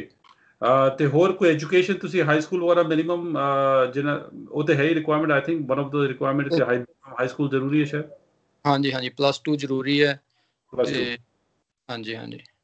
ਠੀਕ ਹੈ। ਸੋ ਹੁਣ ਤੁਹਾਡੀ ਜਿਹੜੀ ਪੀਆਰ ਹੈ ਹੁਣ as a as a long haul truck driver ਤੁਹਾਡੀ PR under Alberta nominee program ਦੇ ਤਹਿਤ ਲੱਗਣੀ ਹੈ ਸ਼ਾਇਦ। ਹਾਂਜੀ। ਐਟ ਲੀਸਟ ਮੇਰੇ ਖਿਆਲ ਇੱਕ ਸਾਲ ਕੰਮ ਕਰਨ ਦੇ ਬਾਅਦ ਮੋਰਲੈਸ ਹਾਂਜੀ ਹਾਂਜੀ। 12 ਮਹੀਨੇ ਕੰਮ ਕਰਨ ਤੋਂ ਬਾਅਦ ਆਪਾਂ ਪੀਆਰ ਦੀ ਫਾਈਲ ਲਾ ਸਕਦੇ ਹਾਂ। ਆਲ ਓਵਰ ਕੈਨੇਡਾ ਦਾ ਚਾਹੀਦਾ ਆਪਾਂ ਨੂੰ 24 ਮੰਥਸ ਦਾ ਐਕਸਪੀਰੀਅੰਸ ਟਰੈਕਿੰਗ ਚ। ਜੀ। ਤੇ ਅਲਬਰਟਾ ਦੇ ਵਿੱਚ 12 ਮਹੀਨਿਆਂ ਦਾ ਚਾਹੀਦਾ ਜੀ ਜੀ ਜੀ ਆਲ ਆਲ ਓਵਰ ਤੇ ਮੇਰੇ ਖਿਆਲ ਉਹ ਜਿਹੜਾ ਤੁਸੀਂ ਕਹਿ ਰਹੇ ਨਾ ਮੈਂ ਤੁਹਾਨੂੰ ਮੈਂ ਸਕਰੀਨ ਤੇ ਦਿਖਾ ਦੇਣਾ ਸ਼ਾਇਦ ਜਿਹੜੀ ਸ਼ਾਇਦ ਕੋਈ ਸੋਚ ਰਿਹਾ ਕਿ ਵੀ ਉਹ ਤੁਸੀਂ ਕਿਹਦੇ ਬਾਰੇ ਗੱਲ ਕਰ ਰਹੇ ਹੋ? ਵਾਟ ਇਜ਼ ਦੈਟ 24 ਮੰਥਸ ਜਾਂ 12 ਮਹੀਨੇ? ਉਹ ਮੈਂ ਸਕਰੀਨ ਤੇ ਆਪਾਂ ਸ਼ਾਇਦ ਦਿਖਾ ਦੇਣਾ ਸਕਰੀਨ ਨਜ਼ਰ ਆ ਰਿਹਾ ਤੁਹਾਨੂੰ ਕੁਝ ਮੇਰੇ ਕੁਝ ਆਪਣੇ ਦੇਖ ਰਹੇ ਹਾਂਜੀ sir so this is this is a Alberta nominee program ਇਹਨਾਂ ਦੀ ਵੈਬਸਾਈਟ ਤੇ ਦੇਖ ਰਿਹਾ ਮੈਂ ਐਕਚੁਅਲੀ ਸੋ ਵਰਕ ਐਕਸਪੀਰੀਅੰਸ ਦੀ ਰਿਕੁਆਇਰਮੈਂਟ ਲਿਖੀ ਹੋਈ ਹੈ ਏਆਈਐਨਪੀ ਤੇ ਐਲੀਜੀਬਲ ਵਰਕ ਬਾਕੀ ਇਨਫੋਰਮੇਸ਼ਨ ਤਾਂ ਬਹੁਤ ਹੈ ਮੈਂ ਜਿਹੜੇ ਰੈਲੇਵੈਂਟ ਚੀਜ਼ ਦਿਖਾ ਰਿਹਾ so at the time of application ਦੋ ਰਿਕੁਆਇਰਮੈਂਟ ਵਿੱਚ ਇੱਕ ਵੀ ਤੁਸੀਂ ਕਰ ਸਕਦੇ ਹੋ either one of them, either minimum 12 months of experience in the last ਡੇਢ ਸਾਲ 18 ਮੰਥਸ ਸੋ ਉਹ ਤੁਹਾਡਾ ਜਿਹੜੇ I think you will be okay ਜਾਂ ਕਈ ਵਾਰ ਹੁੰਦੇ ਆ ਜਿਹੜੇ ਕੋਈ ਟਰੱਕ ਡਰਾਈਵਰ ਜਿਹੜੇ ਹੋ ਸਕਦਾ ਕਿ ਓਨਟਾਰੀਓ ਤੋਂ ਜਾਂ ਕਿਸੇ ਹੋਰ ਤੋਂ ਗੱਡੀ ਚਲਾ ਕਰ ਆ ਰਹੇ ਆ ਵਟਐਵਰ ਯੂ نو ਐਨੀਵੇਅਰ ਔਰ ਇਵਨ ਦੁਬਈ ਤੋਂ ਆ ਰਹੇ ਆ ਵਟਐਵਰ ਸੋ ਅਗਰ ਉਹਨਾਂ ਕੋਲ ਮਿਨੀਮਮ 24 ਮੰਥਸ ਦਾ ਐਕਸਪੀਰੀਅੰਸ ਹੈ in the in the current occupation in Canada or abroad, including matlab, you know maybe Europe or Dubai or something in the last 30 months, ਤਾਂ ਵੀ ਤਾਂ ਵੀ ਉਹ ਕੁਆਲੀਫਾਈ ਕਰ ਜਾਏਗਾ। ਜ਼ਰੂਰੀ ਨਹੀਂ ਹੈ ਕਿ ਸਿਰਫ ਐਲਬਰਟਾ ਦਾ ਹੀ ਹੋ। ਹਾਂਜੀ ਹਾਂਜੀ। ਤਾਂ ਵੀ ਕੁਆਲੀਫਾਈ ਕਰ ਜਾਏਗਾ so I think what what is require ਜੋ ਜੋ ਤੁਹਾਡੇ ਤੁਹਾਡੀ ਜਿਹੜੀ ਜੋ ਜੋ ਹੈ ਉਹ ਇਹ ਆ ਹੈ ਜਿਹੜੇ ਉੱਪਰ ਵਾਲੀ ਹਾਂਜੀ ਹਾਂਜੀ। So minimum 12 months experience so that's that's what it is ਇੱਕ ਚੀਜ਼ ਹੋਰ ਦੱਸੋ ਕਿ ਜਿਹੜੇ ਲੋਕ ਇਸ ਵਕਤ ਪੰਜਾਬ ਦੇਖ ਰਹੇ ਆ ਤੁਹਾਡੀ ਗੱਲਬਾਤ ਨੂੰ ਸੁਣ ਰਹੇ ਆ ਜਿਹੜੇ ਆਲਰੇਡੀ ਜਿਨ੍ਹਾਂ ਨੇ ਕਦੀ ਟਰੱਕ ਨਹੀਂ ਚਲਾਇਆ ਉਹਨਾਂ ਲਈ ਤੁਹਾਡੀ ਤੁਹਾਡੀ ਕੀ ਇੱਕ ਸਲਾਹ ਸਜੈਸ਼ਨ ਕੀ ਹੈ ਕਿ ਉਹ ਕਿਸ ਤਰ੍ਹਾਂ ਟਰੱਕਿੰਗ ਲਾਈਨ 'ਚ ਆਪਣੀ ਤਿਆਰੀ ਆਫ ਕੋਰਸ ਦੇ ਨੀਡ ਅ ਜੌਬ ਆਫਰ ਪਰ ਇਸ ਵਕਤ ਉਹ ਕੀ ਕਰ ਸਕਦੇ ਆ? ਟਰੱਕ ਚਲਾਣਾ ਪੰਜਾਬ 'ਚ ਵੀ ਸਿੱਖ ਸਕਦੇ ਆ। ਕੁਝ ਇਸ ਤਰ੍ਹਾਂ ਦੀ ਕੋਈ ਟ੍ਰੇਨਿੰਗ ਦਾ ਸਿਲਸਿਲਾ ਹੈ ਕਿ ਤੁਹਾਡੇ ਵਿੱਚ ਜਿਹੜੇ ਵੱਡੇ ਵੱਡੇ ਜਿਹੜੇ 18 ਗੇਅਰ ਵਾਲੇ ਟਰੱਕ ਹੈ ਇਸ ਤਰ੍ਹਾਂ ਦੀ ਕੋਈ ਟ੍ਰੇਨਿੰਗ ਜਾਂ ਕੋਈ ਐਜੂਕੇਸ਼ਨ ਲੈ ਸਕਦੇ ਆ ਉਤੋਂ ਹੀ ਪੰਜਾਬ ਤੋਂ? ਸਰ ਪੰਜਾਬ ਦੇ ਟਰੱਕਾਂ ਦਾ ਤੇ ਇਥੋਂ ਦਾ ਮਤਲਬ ਸਾਰਾ ਸਿਸਟਮ ਇੱਕ ਡਿਫਰੈਂਟ ਇੱਥੇ ਆ ਗਏ ਜੀ। ਸਟੀਅਰਿੰਗ ਦੂਜੀ ਸਾਈਡ ਤੇ ਨੇ ਇੱਥੇ। ਇਹਨਾਂ ਦੇ ਜਿਹੜੇ ਥੋੜੇ ਉਹਨਾਂ ਦੇ ਆਪਾਂ ਨੂੰ ਮੁਤਾਬਿਕ ਚੱਲਣਾ ਪੈਂਦਾ ਉਹ ਕੁਝ ਗੱਲਾਂ ਨੇ, ਜਿੱਦਾਂ ਵੀ ਪਹਿਲਾਂ ਆਪਾਂ ਕਾਰ ਤੋਂ ਸਟਾਰਟ ਕਰਦੇ ਆ ਸਾਨੂੰ ਉੱਥੋਂ ਮਤਲਬ ਇੱਕ ਬੜਾ ਕੁਝ ਸਿੱਖਣ ਨੂੰ ਮਿਲਦਾ ਹੈ ਕਾਰ ਤੋਂ। ਕਿਉਂਕਿ ਜਦੋਂ ਆਪਾਂ ਰੋਡ ਦੇ ਸਾਈਨ ਪੜਨੇ ਸ਼ੁਰੂ ਕਰ ਦਿੰਦੇ ਆ ਉਸ ਤੋਂ ਬਾਅਦ ਡਰਾਈਵਿੰਗ ਥੋੜੀ ਈਜ਼ੀ ਹੁੰਦੀ ਹੈ। ਆ ਕੇ ਨਵਾਂ ਬੰਦਾ ਥੋੜਾ ਪਹਿਲਾਂ 4-5 ਮਹੀਨੇ ਤੇ ਉਦਾਂ ਹੀ ਥੋੜਾ ਘਬਰਾ ਕੇ ਗੱਡੀ ਚਲਾਉਂਦਾ ਨਾ ਕਿ ਅਸੀਂ ਐਡੀ ਵੱਡੀ ਕੰਟਰੀ ਦੇ ਵਿੱਚ ਆ ਗਏ ਆ ਇੱਥੇ ਕੋਈ ਪੁਲਿਸ ਵਾਲਾ ਜਾਂ ਕੁਝ ਵੀ ਸਾਨੂੰ ਕੋਈ ਰੋਕ ਨਾ ਦੇ ਕੁਝ ਕਿਸੇ ਤਰੀਕੇ ਨਾਲ ਵੀ ਨਾ ਤੇ ਇੰਡੀਆ ਦਾ ਸਰ ਬਹੁਤ ਫ਼ਰਕ ਹੈ ਇੰਡੀਆ ਵਾਲੀ ਡਰਾਈਵਿੰਗ ਇੱਥੇ ਮੈਨੂੰ ਨਹੀਂ ਲੱਗਦਾ ਅੱਗ ਚੱਲਦੀ। ਸੋ ਸੋ ਫਾਰਮੂਲਾ ਇਸ ਬਿਨਾ ਹੀ ਹੈ ਕਿ ਸਾਨੂੰ ਐਲਐਮਆਈ ਚਾਹੀਦੀ ਹੈ EMPLOYER ਤੁਹਾਨੂੰ ਵਧੀਆ ਮਿਲ ਜਾਏ ਤੇ ਕੰਮ ਬਣ ਸਕਦਾ ਹੈ। ਭਾਵੇਂ ਉਹ ਡਰਾਈਵਰ ਡਰਾਈਵਿੰਗ ਟਰੱਕ ਡਰਾਈਵਿੰਗ ਉਹਨਾਂ ਨੇ ਇੰਡੀਆ ਕੀਤੀ ਹੈ ਨਹੀਂ ਕੀਤੀ ਹੈ ਡਸ ਨਾਟ ਮੈਟਰ ਅਲਟੀਮੇਟਲੀ ਇੱਥੇ ਆ ਕੇ ਜਦ ਲਾਇਸੈਂਸ ਲੈਣਗੇ ਫਿਰ ਹੀ ਕੰਮ ਸ਼ੁਰੂ ਹੋਏਗਾ। ਹਾਂਜੀ ਲਾਈਸੈਂਸ ਲੈਣ ਤੋਂ ਬਾਅਦ ਤੇ ਥੋੜਾ ਕੰਪਨੀਆਂ ਫਿਰ ਜਦੋਂ ਨਵਾਂ ਬੰਦਾ ਹੁੰਦਾ ਉਹਦੇ ਤੋਂ ਟ੍ਰੇਨਿੰਗ ਵੀ ਕਰਾਉਂਦੀਆਂ ਨੇ। ਕਿਸੇ ਦਾ ਹੁੰਦਾ ਕਿ ਇੱਕ ਮੰਥ ਹੁੰਦਾ ਹੈ। ਉਹ ਆਪਣੇ ਡਿਪੈਂਡ ਕਰਦਾ ਕਿ ਤੁਸੀਂ ਟ੍ਰੇਨਿੰਗ ਦੇ ਵਿੱਚ ਕੀ ਕਿਦਾਂ ਦੀ ਪਰਫਾਰਮੈਂਸ ਦਿੰਦੇ ਹੋ ਨਾ ਕਿ ਜੇ ਤੁਹਾਨੂੰ ਉਹ EMPLOYER ਨੂੰ ਲੱਗਦਾ ਕਿ ਹਾਂ ਇੱਕ ਦੋ ਗੇੜੇ ਲਾਏ ਨੇ ਬੰਦਾ ਰੋਡ ਤੇ ਚੱਲ ਸਕਦਾ ਸਹੀ ਹੈ ਤੇ ਲਾਇਸੈਂਸ ਆਪਣੇ ਕੋਲ ਹੈਗਾ ਐਕਸਪੀਰੀਅੰਸ ਤੇ ਚੱਲਣ ਨਾਲ ਹੀ ਆਉਂਦਾ। ਜੀ। ਪਰ ਪਰ ਜਦ ਜਦ ਤੁਸੀਂ ਅਪਲਾਈ ਕੀਤਾ ਸੀ ਵਰਕ ਪਰਮਿਟ ਜਦ ਐਲਐਮਆਈ ਦੀ ਗੱਲਬਾਤ ਚੱਲ ਰਹੀ ਸੀ ਇਹਨਾਂ ਨਾਲ ਤੁਹਾਡੇ ਕੋਲ ਆਲਰੇਡੀ ਵਰਕ ਤੁਹਾਡੇ ਕੋਲ ਆਲਰੇਡੀ ਟਰੱਕਿੰਗ ਲਾਇਸੈਂਸ ਆ ਚੁੱਕਿਆ ਸੀ ਬਿਕੋਜ਼ ਕਿਉਂਕਿ ਤੁਸੀਂ ਆਲਰੇਡੀ ਆਪਣਾ ਮਨ ਬੂਟ ਬਣਾ ਸਕੀ ਟਰੱਕਿੰਗ 'ਚ ਜਾਣਾ। ਹੈ ਹਾਂਜੀ ਹਾਂਜੀ। ਪਰ ਪਰ ਮੈਂ ਉਹਨਾਂ ਦੀ ਗੱਲ ਕਰ ਰਿਹਾ ਜਿਹੜੇ ਇਸ ਵਕਤ ਇੰਡੀਆ ਬੈਠੇ ਹੈ ਜਿਨ੍ਹਾਂ ਕੋਲ ਜਿਨ੍ਹਾਂ ਕੋਲ ਕੈਨੇਡਾ ਦੀ ਐਂਟਰੀ ਨਹੀਂ ਹੈ ਜਿਹੜੇ ਕੈਨੇਡਾ 'ਚ ਪਹੁੰਚੇ ਨਹੀਂ ਹੈ ਐਲਬਰਟਾ ਦਾ ਜਾਂ ਬੀਸੀ ਦਾ ਟਰੱਕ ਲਾਇਸੈਂਸ ਨਹੀਂ ਹੈ ਉਹਨਾਂ ਨੂੰ ਜੌਬ ਕਿੱਦਾਂ ਮਿਲੇਗੀ ਫਿਰ? ਸਰ ਜੌਬ ਮਤਲਬ ਹਾਲੇ ਤੱਕ 3 ਸਾਲ ਹੋ ਗਿਆ ਮੈਨੂੰ ਲੱਗਦਾ ਕਿ ਇੰਡੀਆ ਤੋਂ ਸਿੱਧੇ ਆਪਣਾ ਟਰੈਕਿੰਗ ਦੇ ਵਿੱਚ ਤੁਸੀਂ ਐਲਐਮਆਈ ਨਹੀਂ ਲੈ ਸਕਦੇ। ਉਹ ਇੱਥੇ ਆ ਕੇ ਲੈਣੀ ਪੈਂਦੀ ਹੈ, ਕਿਉਂਕਿ ਕੈਨੇਡਾ 'ਚ ਮੈਂ ਮਤਲਬ ਦੇਖੇ ਨੇ ਮੁੰਡੇ, ਦੁਬਈ ਤੋਂ ਸਿੱਧੇ ਦੇਖੇ ਨੇ ਵੀਜ਼ੇ ਲੱਗਦੇ ਆਪਣੇ ਟਰੈਕਿੰਗ ਲਾਈਨ 'ਚ। ਤੇ ਇੱਥੋਂ ਇੰਡੀਆ ਤੋਂ ਮੈਨੂੰ ਨਹੀਂ ਲੱਗਦਾ ਮੈਂ ਕੋਈ ਹਜੇ ਤੱਕ ਸੁਣਿਆ ਹੈ ਕੋਈ ਵੀ ਜਾਂ ਦੇਖਿਆ ਹੈ ਕੋਈ ਮੁੰਡਾ ਸਿੱਧਾ ਟਰੈਕਿੰਗ ਤੇ ਆਇਆ ਜੀ। ਦੋ ਦੋ ਚੈਲੰਜਸ ਨੇ। ਨੰਬਰ 1 ਤੇ ਇੱਕ ਤੇ ਇੱਕ ਤੇ ਲਾਇਸੈਂਸ ਮਿਲਣਾ ਚੈਲੰਜ ਹੈ ਇੰਡੀਆ ਤੋਂ। ਹਾਂਜੀ। ਦੂਸਰਾ ਹੈ ਸਿੱਧਾ ਜਿਹੜਾ ਜੌਬ ਆਫਰ ਮਿਲ ਜਾਏ ਉਹ ਵੀ ਇੱਕ ਔਖੀ ਚੀਜ਼ ਲੱਗਦੀ ਹੈ ਕਿ ਕਿਉਂਕਿ ਤੁਹਾਨੂੰ ਫਾਇਦਾ ਜ਼ਰੂਰ ਇਸ ਤਰ੍ਹਾਂ ਹੋਇਆ ਕਿਉਂਕਿ ਤੁਸੀਂ ਆਲਰੇਡੀ ਫਾਰਮ ਵੀਜ਼ਾ ਤੇ ਆਏ ਹੋਏ ਸਨ। ਤੇ ਇੱਥੇ ਤੁਸੀਂ ਟਰੱਕਿੰਗ ਦਾ ਆਪਣੀ ਤਿਆਰੀ ਕਰ ਲਈ ਐਟ ਦ ਸੇਮ ਟਾਈਮ ਜਦ ਤੁਸੀਂ ਕਰ ਰਹੇ ਤੁਹਾਨੂੰ ਹਾਂ। ਤੇ ਕੁਦਰਤੀ ਫਿਰ ਉਹ ਜਦ ਤੁਹਾਡੇ ਕੋਲ ਟਰੱਕਿੰਗ ਐਕਸਪੀਰੀਅੰਸ ਹੋ ਗਿਆ 6 ਤੋਂ 8 ਮਹੀਨੇ ਦਾ ਫਿਰ ਇੱਕ ਨਏ ਤੁਹਾਨੂੰ EMPLOYER ਟੱਕਰ ਗਏ। ਤੇ ਫਿਰ ਤੁਹਾਡਾ ਕੰਮ ਉਸੂਤ ਆ ਗਿਆ ਫਿਰ then you are on the right track so ਇਹ ਜ਼ਰੂਰ ਚੈਲੰਜ ਹੈ ਕਿ ਫॉर ਸ਼ੋਰ ਕਿ ਇਹ ਮਤਲਬ ਵਰਕ ਪਰਮਿਟ ਦਾ ਚੈਲੰਜ ਹਮੇਸ਼ਾ ਪਾਵੇ ਟਰੱਕਿੰਗ ਦਾ ਹੋ ਜਾਂ ਆਫਿਸ ਜੌਬ ਹੋ ਕਿ ਵੀ ਵਧੀਆ EMPLOYER ਕਿਸ ਤਰ੍ਹਾਂ ਮਿਲੇਗਾ? ਮਤਲਬ ਕਿ ਜਾਂ ਤੇ ਕੋਈ ਗੂਗਲ ਤੇ ਸਰਚ ਕਰ ਰਿਹਾ ਹੈ ਇੰਡੀਡ ਤੇ ਫਲਾਣਾ ਤੁਸੀਂ ਰੈਜ਼ਿਊਮੇ ਤੇ ਰੈਜ਼ਿਊਮੇ ਭੇਜੀ ਜਾ ਰਹੇ ਹੋ ਕਿ ਕੋਈ ਤੁਹਾਨੂੰ ਕੋਈ ਰਿਸਪੌਂਡ ਨਹੀਂ ਕਰਦਾ। ਅਗਰ ਕੋਈ ਰਿਸਪੌਂਡ ਕਰੇਗਾ ਤੇ ਉਹ ਪੈਸੇ ਮੰਗਦੇ ਆ ਫਿਰ ਗੱਲ ਤੇ ਉੱਥੇ ਆ ਕੇ ਟਿਕ ਗਈ ਕਿ ਵੀ ਇਹ ਹੋਏਗਾ ਕਿਸ ਤਰ੍ਹਾਂ। ਫॉर ਸ਼ੋਰ ਮਤਲਬ ਕਿ ਤੁਹਾਡੇ ਕਹਾਣੀ ਤੋਂ ਇਹ ਪਤਾ ਲੱਗਦਾ ਜ਼ਰੂਰ ਹੈ ਕਿ ਅਗਰ ਫਾਈ ਚਾਂਸ ਅਗਰ ਆਲਰੇਡੀ ਤੁਸੀਂ ਕੈਨੇਡਾ ਪਹੁੰਚ ਚੁੱਕੇ ਹੋ ਜਾਂ ਕਿਸੇ ਹੋਰ ਵੀਜ਼ੇ ਤੇ ਜਿਸ ਤਰ੍ਹਾਂ ਹੋਰ ਕੋਈ ਅਨਸਕਿਲਡ ਜੌਬ ਵੀਜ਼ੇ ਤੇ ਪਹੁੰਚ ਚੁੱਕੇ ਹੋ ਜਾਂ ਇਵਨ ਐਜ਼ ਅ ਸਟੂਡੈਂਟ ਆਏ ਹੋ ਜਾਂ ਕਿਸੇ ਹੋਰ ਕੋਈ ਸਪਾਊਸ ਵੀਜ਼ਾ ਤੇ ਆਏ ਹੋ ਤੇ ਤੁਸੀਂ ਟਰੱਕਿੰਗ ਦਾ ਲਾਈਨ ਦਾ ਚੋਣ ਕਰਨੀ ਹੈ ਤੇ ਤੁਸੀਂ ਆਪਣਾ ਲਾਇਸੈਂਸ ਲੈ ਕੇ ਲਾਇਸੈਂਸ ਕਿਉਂਕਿ ਮੈਨੂੰ ਮੈਨੂੰ ਪਤਾ ਸ਼ਾਇਦ ਇਹਦੇ ਬਾਰੇ ਖਬਰ ਹੈ ਕਿ ਸ਼ਾਇਦ ਸ਼ਾਰਟੇਜ ਹੈ ਟਰੱਕਿੰਗ ਡਰਾਈਵਰਾਂ ਦੀ ਬਹੁਤ। ਤੇ ਅੱਗੇ ਸ਼ਾਰਟੇਜ ਵੱਧਣੀ ਹੈ ਤੇ ਟਰੱਕਿੰਗ ਡਰਾਈਵਰਾਂ ਦੀ ਲੋਡ ਪੈਣੀ ਹੈ। ਇਸ ਕਰਕੇ ਲਾਇਸੈਂਸਿੰਗ ਵਿੱਚ ਮਤਲਬ ਉਹ ਇਨਕਰੇਜ ਕਰਦੇ ਕਿ ਤੁਸੀਂ ਅਗਰ ਜੇ ਲਾਇਸੈਂਸ ਐਂਟਰ ਕਰਨਾ ਹੈ ਤੇ ਟ੍ਰੇਨਿੰਗ ਲਾਓ। ਇਹਦਾ ਟ੍ਰੇਨ ਦਾ ਖਰਚਾ ਕਿੰਨਾ ਹੁੰਦਾ ਲਾਇਸੈਂਸ ਲੈਣ ਲਈ? ਸਰ ਅਲਬਰਟਾ ਦੇ ਵਿੱਚ ਹੁਣ ਜਿਹੜੇ ਸਕੂਲ ਨੇ ਪਤਾ ਨਹੀਂ ਗਵਰਨਮੈਂਟ ਦਾ ਕੀ ਸਿਸਟਮ ਹੈ ਕਿਉਂਕਿ ਜਿਹੜੇ ਸਕੂਲ ਨੇ ਉਹ ਇਸ ਟਾਈਮ ਮਤਲਬ ਇੱਕ ਮੈਲਟ ਪ੍ਰੋਗਰਾਮ ਇਹਨਾਂ ਨੇ ਸ਼ੁਰੂ ਕਰਤਾ ਹੈ ਕਿ ਉਹਦੇ ਵਿੱਚ ਟ੍ਰੇਨਿੰਗ ਤੁਹਾਡੀ ਜ਼ਿਆਦਾ ਹੁੰਦੀ ਹੈ ਤੇ 3 ਕੁ ਮਹੀਨੇ ਦਾ 3.5 ਮਹੀਨੇ ਦਾ ਟਾਈਮ ਵੀ ਲੱਗਦਾ ਉਹਦੇ ਵਿੱਚ ਤੇ 8 ਤੋਂ 10000 ਡਾਲਰ ਦੇ ਵਿੱਚ ਅਲਬਰਟਾ ਦੇ ਵਿੱਚ ਖਰਚਾ ਇਸ ਟਾਈਮ ਆ ਰਿਹਾ ਜੀ। ਬੀਸੀ ਵੀ ਖਰਚਾ ਨਹੀਂ ਹੈ ਕਿ ਅਲਬਰਟਾ ਮਹਿੰਗਾ ਇਸ ਤਰ੍ਹਾਂ? ਸਰ ਬੀਸੀ ਦੇ ਵਿੱਚ ਅਜੇ ਮੈਲਟ ਪ੍ਰੋਗਰਾਮ ਸ਼ੁਰੂ ਨਹੀਂ ਹੋਇਆ ਉੱਥੇ ਕੋਈ ਰਿਕੁਆਇਰਮੈਂਟ ਨਹੀਂ ਹੈਗੀ ਕਿ ਤੁਸੀਂ 130 ਘੰਟੇ ਦੀਆਂ ਕਲਾਸਾਂ ਪੂਰੀਆਂ ਕਰਨੀਆਂ ਜਾਂ ਨਹੀਂ ਉੱਥੇ ਤਾਂ ਮਤਲਬ ਥੋੜਾ ਖਰਚਾ ਘੱਟ ਹੈ ਇਸ ਤੋਂ। ਅੱਛਾ ਅੱਛਾ ਰਿਕੁਆਇਰਮੈਂਟ ਹੈ ਨਹੀਂ। ਤੋ ਕਰੀ ਕਰੀ 10000 ਡਾਲਰ ਦਾ ਖਰਚਾ ਪੈਣਾ ਤੁਹਾਨੂੰ ਟਰੱਕਿੰਗ ਦਾ ਇੱਕ ਕੋਰਸ ਕਰਨ ਲਈ ਇੱਥੇ ਫਿਰ ਜਾ ਕੇ। ਬਾਕੀ ਜਿਹੜੇ ਜਿਹੜੇ ਹੁਣ ਮਿਡਲ ਈਸਟ ਵਿੱਚ ਗੱਡੀ ਚਲਾ ਰਹੇ ਜਿਸ ਤਰ੍ਹਾਂ ਦੁਬਈ ਸਾਊਦੀ ਵਾਲਾ ਗੱਡੀ ਚਲਾ ਰਹੇ ਉਹਨਾਂ ਨੂੰ ਅਗਰ ਜੇ ਆਲਰੇਡੀ ਐਕਸਪੀਰੀਅੰਸ ਹੈ ਤੇ ਸ਼ਾਇਦ ਆਈ ਹੋਪ ਕਿ ਸ਼ਾਇਦ ਉਹ ਡਾਇਰੈਕਟਲੀ ਆ ਕੇ ਆਪਣਾ ਬੇਸਡ ਔਨ ਪੁਰਾਣਾ ਐਕਸਪੀਰੀਅੰਸ ਡਾਇਰੈਕਟਲੀ ਆ ਕੇ ਚੈਲੰਜ ਕਰਕੇ ਐਗਜ਼ਾਮੀਨੇਸ਼ਨ ਵੀ ਦੇ ਸਕਦੀ ਹੈ। ਉਹਨਾਂ ਨੂੰ ਵੀ ਕਲਾਸ ਲਾਉਣ ਦੀ ਲੋੜ ਹੀ ਸਾਰੀ। ਨਹੀਂ ਸਰ ਉਹਨਾਂ ਨੂੰ ਇਦਾਂ ਹੁੰਦਾ ਕਿ ਲਾਇਸੈਂਸ ਇੱਥੇ ਆ ਕੇ ਲੈਣਾ ਪੈਂਦਾ। ਪਰ ਜਿਹੜੀ ਆਪ ਐਲਐਮਆਈ ਇਥੋਂ ਸਿੱਧੀ ਆਪਾਂ ਉਹਨਾਂ ਨੂੰ ਦੇ ਸਕਦੇ ਆ ਦੁਬਈ ਵਾਲਿਆਂ ਨੂੰ। ਦੁਬਈ ਐਲਐਮਆਈ ਮਿਲ ਸਕਦੀ ਹੈ।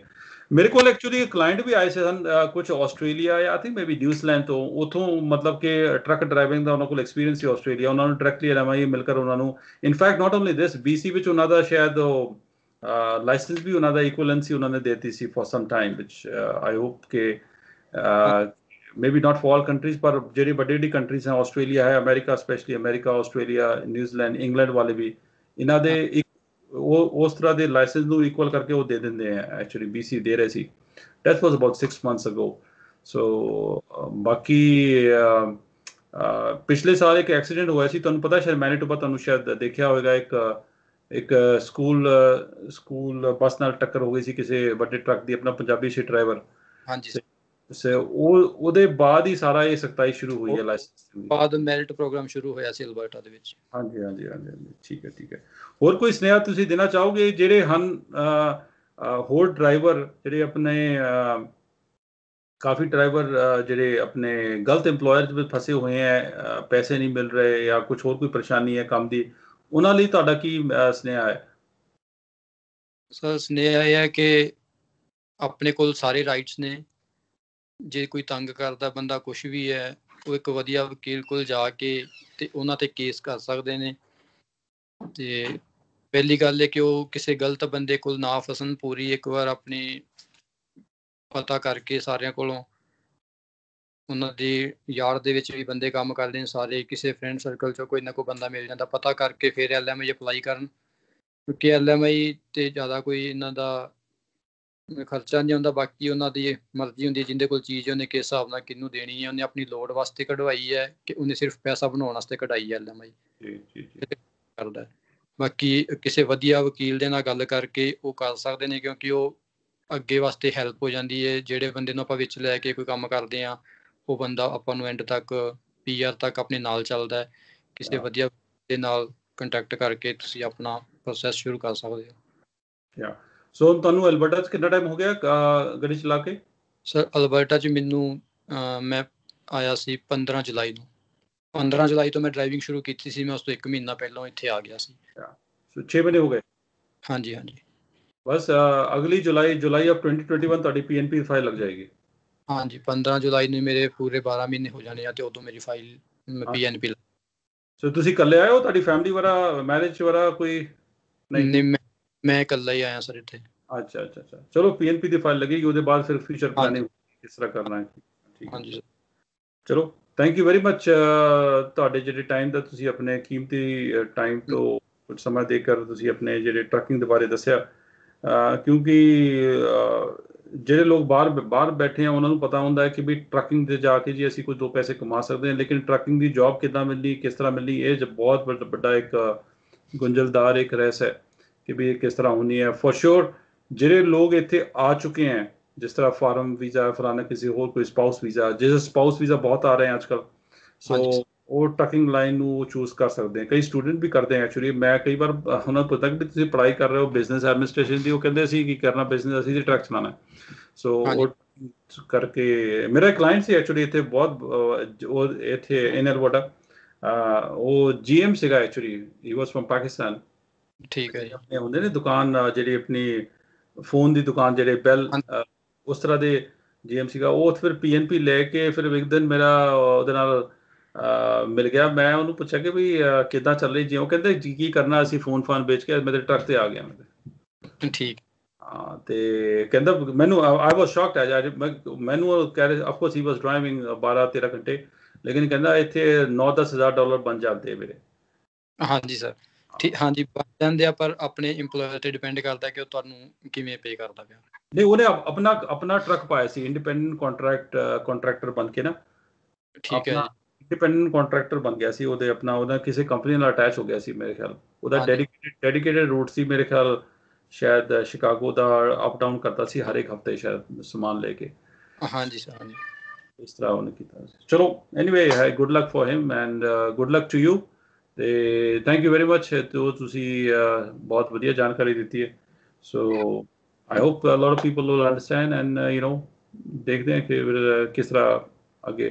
ਟਰਕਿੰਗ ਦੀ ਟਰਕਿੰਗ profession ਦੀ ਸ਼ਾਰਟੇਜ ਤੇ ਹੈ ਫॉर ਸ਼ੋਰ ਟਰਕਿੰਗ ਟਰਕਿੰਗ ਜਿਹੜੇ ਪੁਰਾਣੇ ਬੰਦੇ ਰਿਟਾਇਰ ਹੋ ਰਹੇ ਜਿਹੜੇ ਨਵੇਂ ਆ ਨਹੀਂ ਰਹੇ ਮੈਨੂੰ ਲੱਗਦਾ ਕਿ ਜਿਹੜੇ ਨਵੇਂ ਐਂਟਰ ਕਰ ਰਹੇ ਇੱਥੇ ਕੈਨੇਡੀਅਨ ਦੇ ਕੈਨੇਡੀਅਨ ਜਿਹੜੇ ਬੱਚੇ ਆ ਕੈਨੇਡੀਅਨ ਹਾਈ ਸਕੂਲ ਜਿਹੜੇ ਗੋਰੇ ਆ ਸਪੈਸ਼ਲੀ ਉਹ ਤੇ ਮੇਰੇ ਖਿਆਲ ਜ਼ਿਆਦਾ ਐਂਟਰ ਨਹੀਂ ਕਰਦੇ।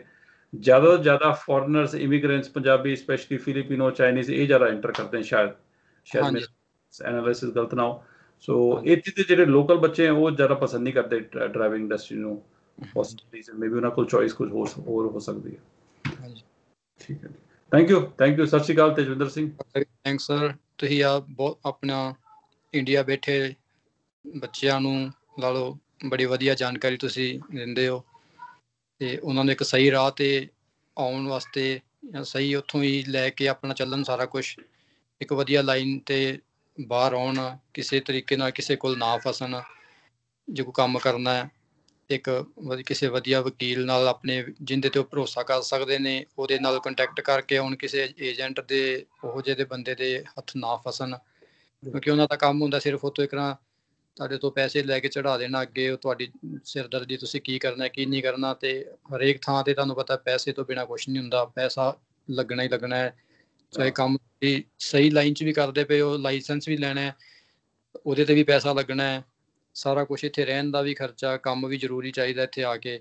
ਇੱਕ ਤੁਸੀਂ ਬੜੀ ਵਧੀਆ ਇੱਕ ਉਹਨਾਂ ਨੂੰ ਮੈਸੇਜ ਦਿੰਦੇ ਹੋ ਨਾ। ਔਰ ਥੈਂਕ ਯੂ ਵੈਰੀ ਮਚ ਕੋਸ਼ਿਸ਼ ਕਰਦੇ ਹਾਂ ਜਾਣਕਾਰੀ ਸਹੀ ਮਿਲਣੀ ਚਾਹੀਦੀ ਹੈ। ਐਕਚੁਅਲੀ ਅਗਰ ਜਾਣਕਾਰੀ ਗਾਈਡੈਂਸ ਸਹੀ ਮਿਲ ਜਾਏਗੀ ਤੇ ਗਲਤੀ ਤੋਂ ਬਚ ਸਕਦੇ ਹੋ। ਅਗਰ ਇਨਫੋਰਮੇਸ਼ਨ ਗਾਈਡੈਂਸ ਅਗਰ ਸਹੀ ਨਹੀਂ ਹੈ ਤੇ ਯੂ نو ਇੱਕ ਤੇ ਫਾਈਨੈਂਸ਼ੀਅਲ ਲਾਸ ਹੋਏਗਾ। ਦੂਸਰਾ ਤੁਹਾਡੇ ਜਿਹੜੇ ਜ਼ਿੰਦਗੀ ਦਾ ਜਿਹੜਾ ਫਿਊਚਰ ਦਾ ਲਾਸ ਹੋ ਸਕਦਾ ਫਿਊਚਰ ਆਪਸ਼ਨ ਬੰਦ ਹੋ ਸਕਦੇ ਆ ਮਿਸਰ ਇਮੀਗ੍ਰੇਸ਼ਨ ਦੀ ਗਲਤੀਆਂ ਡਿਪੋਰਟੇਸ਼ਨ ਤੱਕ ਹੋ ਸਕਦੀ ਹੈ। ਬਹੁਤ ਤਰ੍ਹਾਂ ਤਰੀਕੇ ਤੁਸੀਂ ਆਪਣਾ ਬਰਬਾਦ ਹੋ ਸਕਦੇ ਹੋ। ਸੋ ਜਾਣਕਾਰੀ is the key information is the key ਹਾਂਜੀ ਸਰ। ਠੀਕ ਹੈ। ਥੈਂਕ ਯੂ ਸਤਿ ਸ਼੍ਰੀ ਅਕਾਲ ਜੀ। ਸਤਿ ਸ਼੍ਰੀ ਅਕਾਲ।